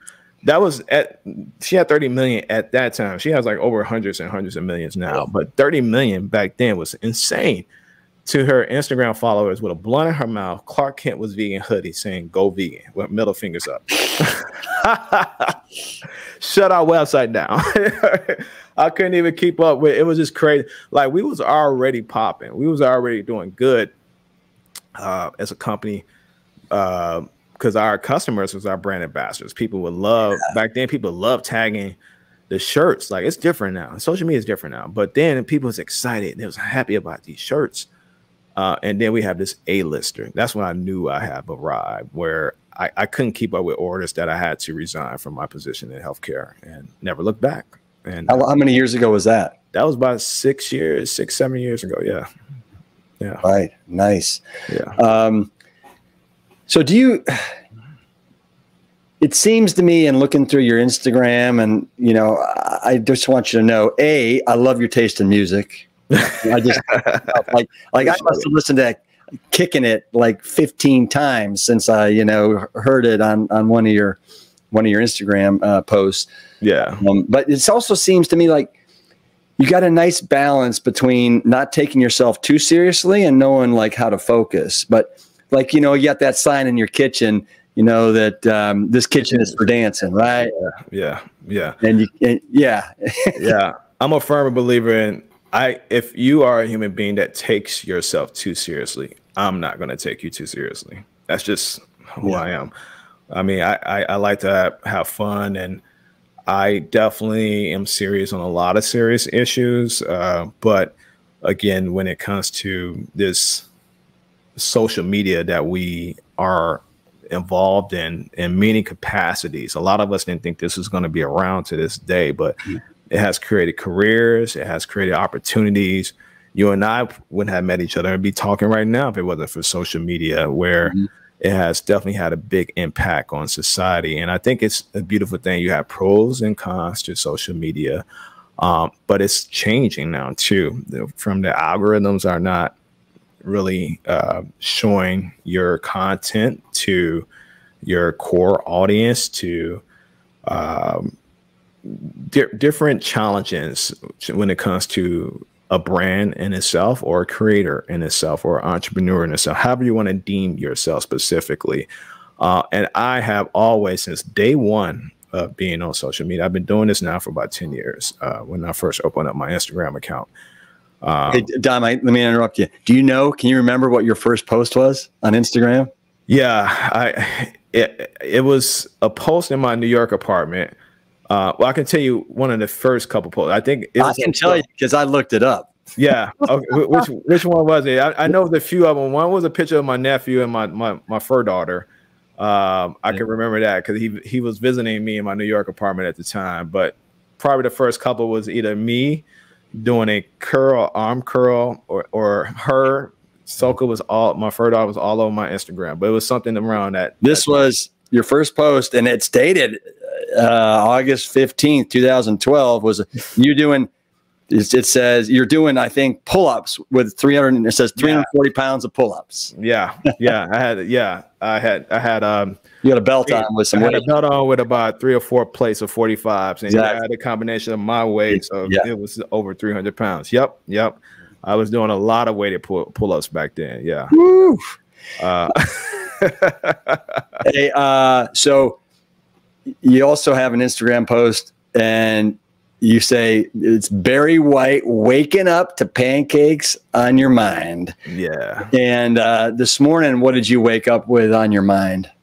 What far as food or as, as, far as food? Yeah, yeah, yeah. Uh, okay, I was gonna say I woke up with again. I went to the gym. Let me get this get this in. I made me. Um, I know I was joking earlier when we was doing the testing about oatmeal. Yeah, uh, yeah. I, I I didn't have oatmeal though. I had a really good fat smoothie uh, made with maca powder, uh, bananas, dates, strawberry, peanut butter powder, because that's less fattening. Yeah. Uh, some hemp seeds, maple syrup, uh, about a scoop of um, plant based protein with that, uh, with some mineral water. I usually like to make, make my smoothies with mineral water instead of plant based milk. So, yeah, I had one of those. It was really good. So, you, yeah. So, in going through your post too, I have also noticed, and you said this, that, you know, growing up, you you cooked right? Yeah, uh, I cooked a lot. Yeah, I'm a really good. I cook every day, but every day. And and and and I in going through your posts, I'm like, oh my god, this guy is like the real deal. Like he he walks the walk when it comes to cooking. Like you just said, you put in. Did you say mineral water? Yeah, mineral water. Mineral, yeah. mineral water because yeah. it creates cert, a certain something.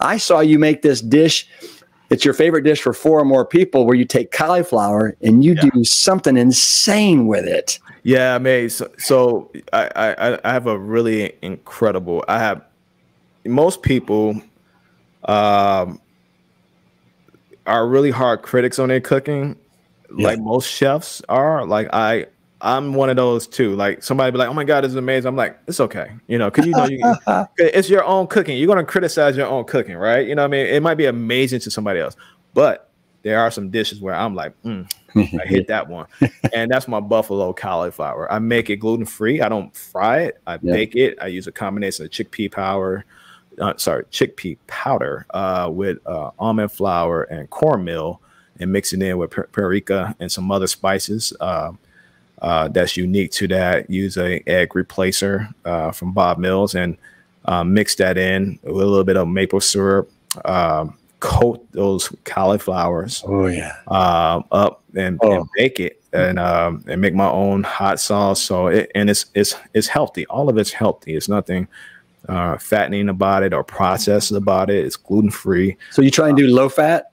I try to do gluten free, completely gluten free, and pretty much low fat as much as possible. So you, like this is what I was telling, you about the smoothie. Instead of like yeah. spoons of oil, peanut yeah. butter, I yeah. use peanut butter powder. So do you? So do you? Uh, uh, do you cook with much oil or, or not? Like, uh, well, far as yeah, so as far as cooking, um, like if I want to saute tempeh, I do use oil. I do use mm-hmm. olive oil, seed oils, and stuff like that because there's nothing wrong with oils. But far as like processed foods or oils that is more uh, full of preservatives and more, I stay away from those as much as I can. Now, granted, I'm not gonna lie to you. I do love me a good junk food vegan meal every now and then. I do love sure. me a good vegan burger, like all of us do. I'm a guy's guy. I love to have a big ass sandwich with you know some nice cut hand fried, eh, you know. But I don't do that every day. That's like a once every two yeah. weeks thing. If I you made, I saw a whole plant based mango Alfredo sauce that you oh, made, yeah, and I'm yeah. like, what a mango! Mango is the base. Get get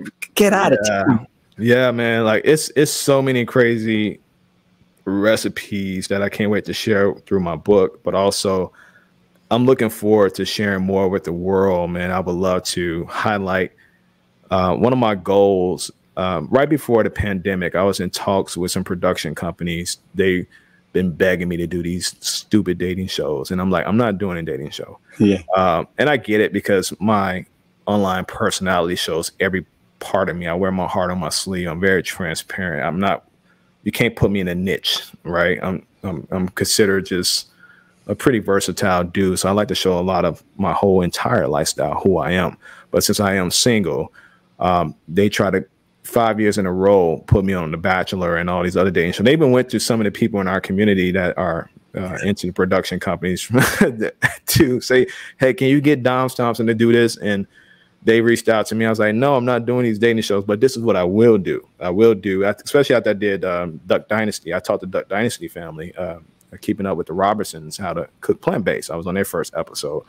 So I'm okay with doing shows like that. But ultimately, I do want to highlight the fact that you can be a guy's guy uh, and break these stereotypes and eat plant based and still be big, strong, and healthy um, and cool and and not take yourself too seriously. So my goal, one of my goals, is definitely have one of those amazing cook shows on one yeah. of the streaming platforms. And we yeah. was in talks about it.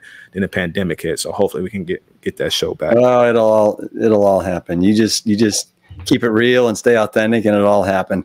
Yeah. Uh, so you you're you're pretty. Um, you're pretty happy. I mean, you're you're happy. You're a happy man.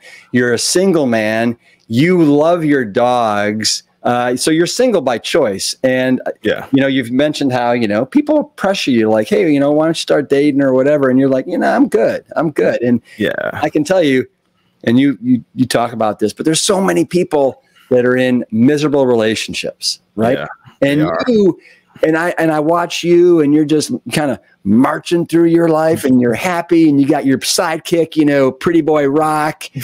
Um, yeah. Let me tell you how sorry I am to hear about, you know, um, yeah, Scruff yeah. McFly. Yeah, um, but baby, yeah, yeah, and if you, I'd love for you to talk about her and and rock, but um, you know, uh, do you love being single and just the freedom you have? I do. It's amazing where you know, I, the last relationship I was in, I was in a relationship for we was together for five years, and again, that's with my ex when we lived in New York. Yeah, the, uh, amazing woman. Had nothing bad to say about an Incredible woman. We just outgrew each other in many capacities. Um, and I made myself a promise that one, obviously, and I left her. She, you know, I left that I, when I left New York. I left her. I left corporate America. I just did a hard, another hard reset. You, we as human beings, mm-hmm. can either accept evolution and evolve with it, or we can remain stagnant and miserable. And I'm built and engineered to want to keep growing and progressing. Uh, and here I had these opportunities of a lifetime that I needed to see through. And some people want you to be traditional and stay in that traditional role. And I get it. Here I am, ex felon, making six figures in corporate America as a healthcare executive. She wanted me to stay in that role. Um, but here's these other opportunities where something's going to hit the fan. And that's why I had to leave corporate to focus on the entrepreneurial side of things uh, to see where this role would take me. Because again, it wasn't like I told you at the beginning of this podcast, it wasn't strategically planned. This all happened organically. And I believe to the core of my body that this is the universe doing this magic. And I just have to continue to follow those instructions because I already last time I didn't listen to the universe, I my ass ended up in prison. so I'm just going off of what the universe is showing me, and I'm going through that path. Uh, now, when it comes to uh, dating, like I said, I've been single, uh, self part. I call it self partnered by choice because so many years I have always put others in front of me and loved ones in front of me, and but now it's the time for me to knock out these milestones, to break these generational curses, and to help set up this family tree that I belong to where generations could come and say like mm. our relative Dominic Thompson did some amazing things and he left behind some amazing resources for us to have a head start in life. So that's what I'm mainly focused on specifically me and my fur kid and my businesses. Now, if something comes organically out of that for me dating, fine. But right now, that's not my primary goal. That's not a priority to me. I enjoy being self partner and dating who I want to date you know, um, and and having those experiences, but not relying on a timeline or a construct that society said you need to have kids by now, you need to have a family by now. Yeah. Um, if it happens, that's a beautiful thing organically. But right now, this is my choice to not jump into something exclusively seriously uh, because I have goals and milestones, and I like being single without the responsibility because it takes a lot to be involved in a marriage. And I respect people that are married and happy, just as I respect for, fellow other people that are single and happy. And I enjoy being single and happy. Yeah. You know what you uh, you describe all that very eloquently. Thank you. Yeah. What about what about uh, Pretty Boy Rock and and before um, before Rock uh, Scruff McFly? Uh, yeah. Did did you have dogs before these guys? Yeah, yeah, yeah. yeah. I did. I yeah, I, I um growing up in Chicago and and in the in a black family and in, in the black community, I always used to, I always joke with people about it. Keep it. I, I feel like in my fifties I'm gonna do stand up comedy because I got a lot of funny stories to tell. Yeah. yeah. um, but it wasn't uncommon for families growing up in the hood or or poverty or more to take on a stray animal. Like stray animals were always showing up, and I don't know who started this uh, coin of adopt, not shop, or adopting animals, but we kind of in the black community have been adopting and rescuing animals from since the 50s to be honest with you. Like it's it's nothing been nothing new. Like that's just what we do. Like okay we whatever we got left on the scraps that stray cat. Here you go, little one, Fido, or you know, mm-hmm. some neighborhood dog bouncing around house to house. You can feed them, or and they become, or they'll start coming in the house, and before you know it, they're a family dog. So I grew up. We we had a lot of different dogs in those capacities that came from the streets, um, and I raised actually two, a couple uh, German shepherds that all rescues pretty much. Um, again, we commercialized the word rescue and adopt, not shot so much um, but I was already doing, we was doing it from from the beginning. Now with Rock, I adopted him two years ago. Um, he uh, came from a a very unpleasant background where I had to go negotiate his surrender from um, um, some family in Chicago, um, and so I had no desire to take on a big dog or another dog because Soka, my fur daughter, she was a senior dog and she was a Shih Tzu Miss Pomeranian, so she's a smaller dog.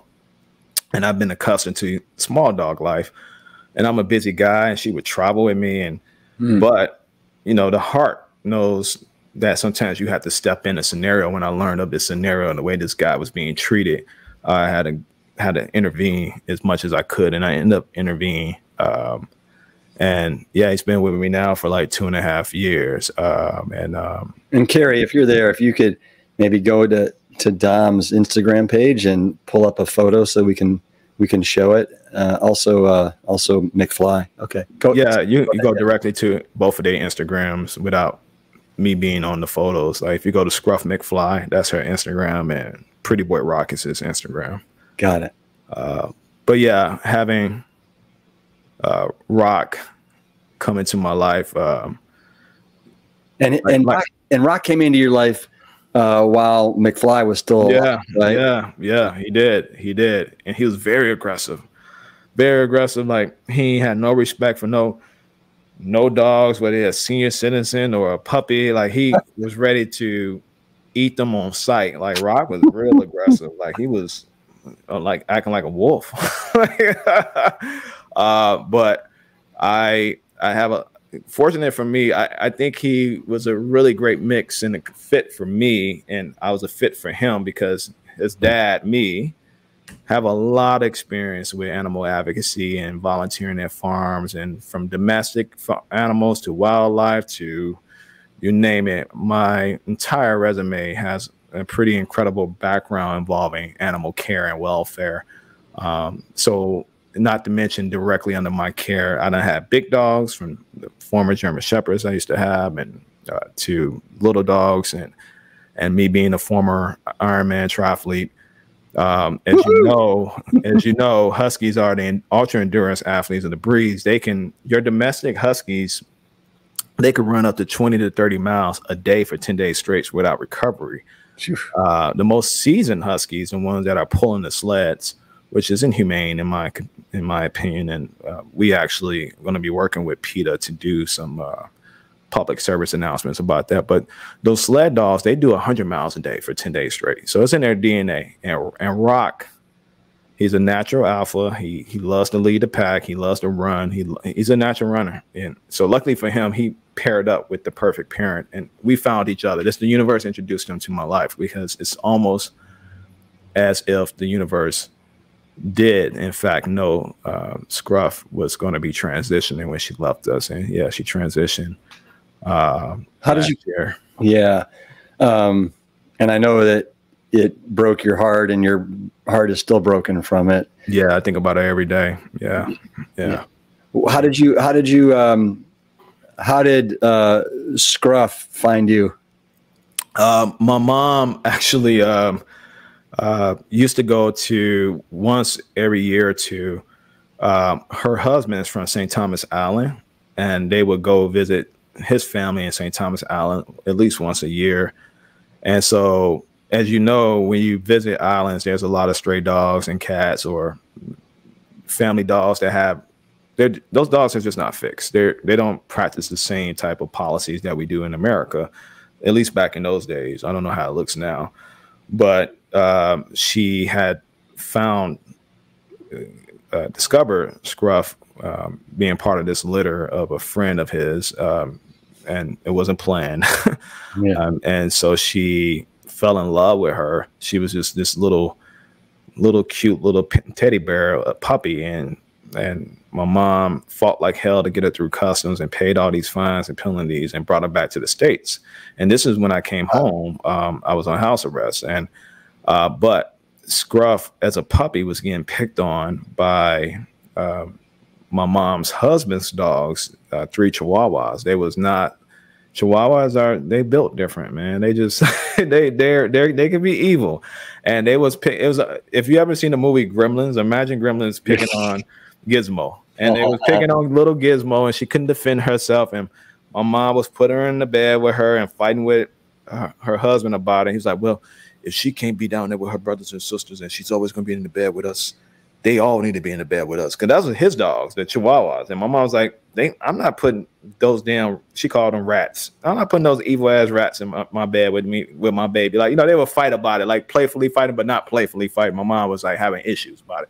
And she told me about it. I was like, yo, look, I'm on house arrest. I'm in this.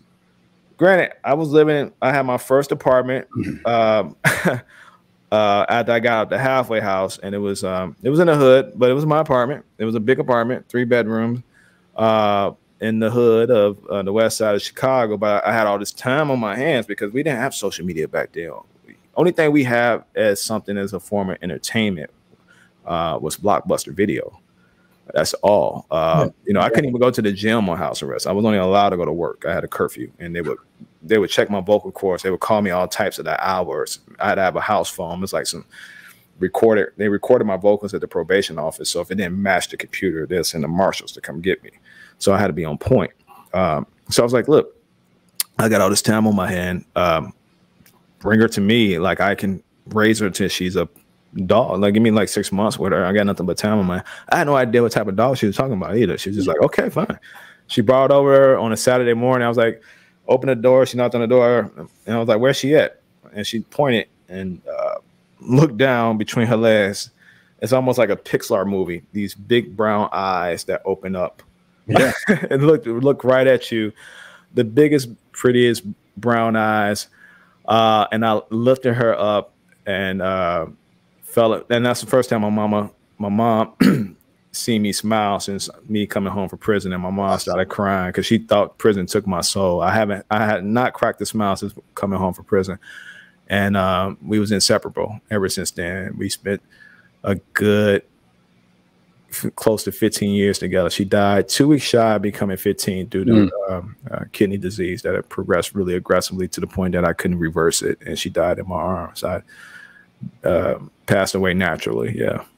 Did uh, and you have a tattoo of her on your, uh, arm, right? Yeah, I got the tattoo done about four or five years ago of her before she passed away because she yeah always meant a lot to me. She she been at triathlons with me. She always been my good luck charm. I was always kissing her on the forehead. And now anytime I do like a heavy lift or go for a heavy run, uh, and when I start back competing in the future, like I always would kiss kiss my bicep as a reminder of my baby girl watching over me in heaven. So yeah. And is is Rock jealous of that tattoo, or is you got a, you got, you got a tattoo of Rock coming down the? I, I, do got a tattoo of Rock coming down the line for sure. Yeah, you, yeah, yeah. Those are my two kids. They both are one of one. I've been around a lot of animals, and a lot of them have similar personalities, but like my mother said, I know how to pick them. Meaning, yeah. him, Rock, and Soka are just. Uh, they're just one of one. I have not met any dogs with the same personalities like they do. Got it. Got it. Hey, we got we got to start winding this thing. Yeah. Down. But yeah. but um, tell me what you have a favorite piece of fruit. If you had to pick one fruit for the rest of your life, what would it be? Uh, this has not changed. Um, um, but I'm still a big fan of watermelon. Uh, to me, uh, it's an underrated fruit. Keeps you hydrated. Has tons of protein in it. Um, that people don't realize those seeds has a lot of protein in it specific. I love juicing it. Uh, it's like a shot of supplements going through your bloodstream. Uh, keeps you hydrated, gives you energy bouncing off the wall. Great for endurance training um, and more. So, far as favorite fruit, definitely watermelon. Watermelon I, followed by mangoes. Yeah, yeah. I love watermelon, but I'm picky, and the watermelon's got to taste just right. Otherwise, I'm like, oh, this is a bad watermelon yeah, so that's the beautiful thing about me living in Georgia. We produce some of the most amazing homegrown um, Georgia watermelons from some incredible farmers out here that locally do it. We had the perfect climate to to produce it. So yeah, yeah, you got to taste a good Georgia yeah. watermelon. What about a veggie? Is there a is, you have a favorite vegetable? Whether it's a, yeah, what, I, what is it? You know, I what's what's on both of our shirts kale. ah. I, I, love me uh, to me it's just you can create it and reproduce it in different ways from yeah making some amazing pasta to some amazing smoothies to juicing it it's just such an incredible amazing veggie uh, I, I, just love all leafy greens um, and i'm so glad that i found leafy greens and plant-based eating in general because i grew up uh, in a community uh, uh, a food desert where we didn't have those options and stuff like that. So I, I a lot of the fruits and vegetables I eat as an adult, never heard of it as a kid, never was introduced to it as a kid. So it's mm. pretty cool to. It's kind of like a new experience. It has been a new experience for me as an adult, and I, lo- I love it. Mm. You know, it's interesting. You, you, just you just triggered a memory. I was on the Dr. Oz show. I don't know, a couple years ago, and he he asked me to take three Chicago firefighters mm-hmm. and to try and reverse some of their health conditions, high blood pressure, you know, o- overweight, um, cholesterol meds, all that stuff. And um, and he gave me two months to do it. Mm-hmm. And so I went into their households and I discovered that two of them were black, one of them was white. But I discovered that, like, these guys, I mean, they had never had a, some of them had never had a mango. They never had a bell pepper. They, I mean, it's, it's, it's, it's crazy how, when you realize how many people haven't been exposed to, you know, the, the smorgasbord of different options that are out there when it comes to plant based. Yeah. Yeah. Yeah. Especially, again, I, I, think it's also a generational thing too. Yeah. Um, but now it's so many different markets and so many different ways to be introduced to so many different fruits and vegetables. And it's a beautiful thing now if you had the resources. Because uh, the accessibility is there in a lot of capacities. Sometimes yeah. you just got to do the extra work to find it for sure. Hey, uh, Dom, your middle name is or your middle initial is Z. What does the Z stand for? It's actually not. Uh, everybody think, and I, I, blame Rich for that. Rich Roll. Oh, oh really? Shout out, shout out, to Rich, man. Still good guy. Uh, we yeah, both yeah. Rich. Uh, yeah. But when Rich first introduced me to his audience and and that that podcast that was uh, at the time one of his most downloaded podcasts, he said Dom Z and I told him, there's no Z, Rich. It's just DOMS. The uh, Z is on the end of the M. So there's no Z in, in the middle initial. I have no Z in my middle name. uh, but when he said Dom Z, a lot of people to this day, because when I when I uh, created my account, Instagram account, Dominic Thompson was taken. Uh, so I was just like, okay, let me just use my nickname Dom. Some people call me Dom or Doms, so that's where the Z come from, Doms.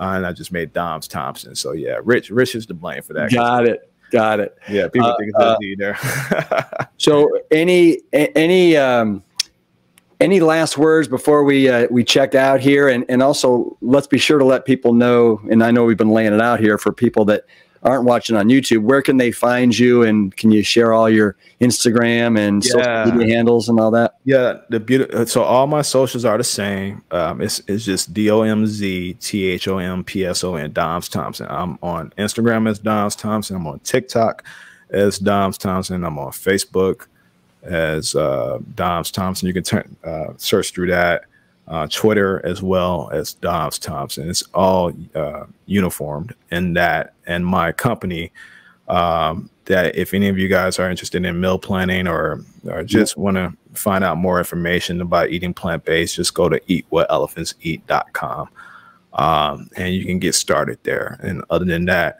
um, those are the best two ways to uh, get in contact with me. What if what if what if people want to eat what elephants eat T-shirt? Where do you go for that? Yeah, so it's hard to keep those shirts in stock. uh, we have been receiving complaints for a while. The fact that we haven't restocked them yet, but we're uh, going to relaunch with a huge uh, inventory of, um, and also do some pre-ordering uh, this coming uh, first quarter of next year. So if you guys want Eat What Elephants Eat, go to uh, craziesandweirdos.com or be on the eatwhatelephantseat.com shirt uh, website too as well. So in the first quarter next Got year. it. All right. I'm going to let you close this out. What do you want to say to the audience? Um, just continue to, you know, live your life as peaceful as you can without harming others. But more importantly, be appreciative of the little things um, because me waking up with a roof over my head and being able to put food on my table is something that I think we all take grant, granted for it because not many people have a roof over their head today mm. or woke up today. And to me, it's simple things like that that are special. And I hope you guys remember that that's special to you too as well. Awesome. Hey, Dom. Uh, will you give me a, a fist bump, yes, my my gotcha. my kale brother? Yes, sir. yeah. Dom Z Thompson is his social handle on Instagram, TikTok, YouTube, and all of the other social platforms that he has. You can also check out his site, eatwhatelephantseat.com, and of course, craziesandweirdos.com. Now, remember, we would love to have you join Dom, myself, and about 150 others for the half marathon, marathon, and 5K as part of Team Plant Strong on February 19th, 2023. Simply go to plantstrongfoods.com slash team and learn everything you need to know to take part. Keep it plant strong.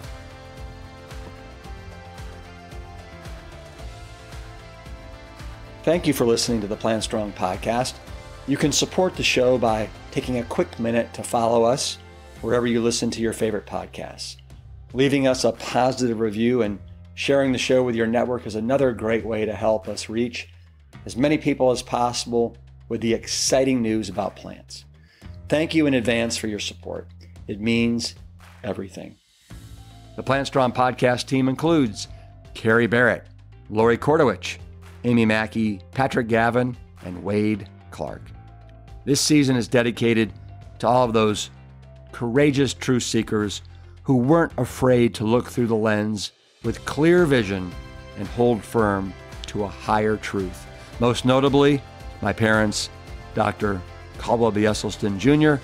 and Ann Crile Esselstyn. Thanks for listening.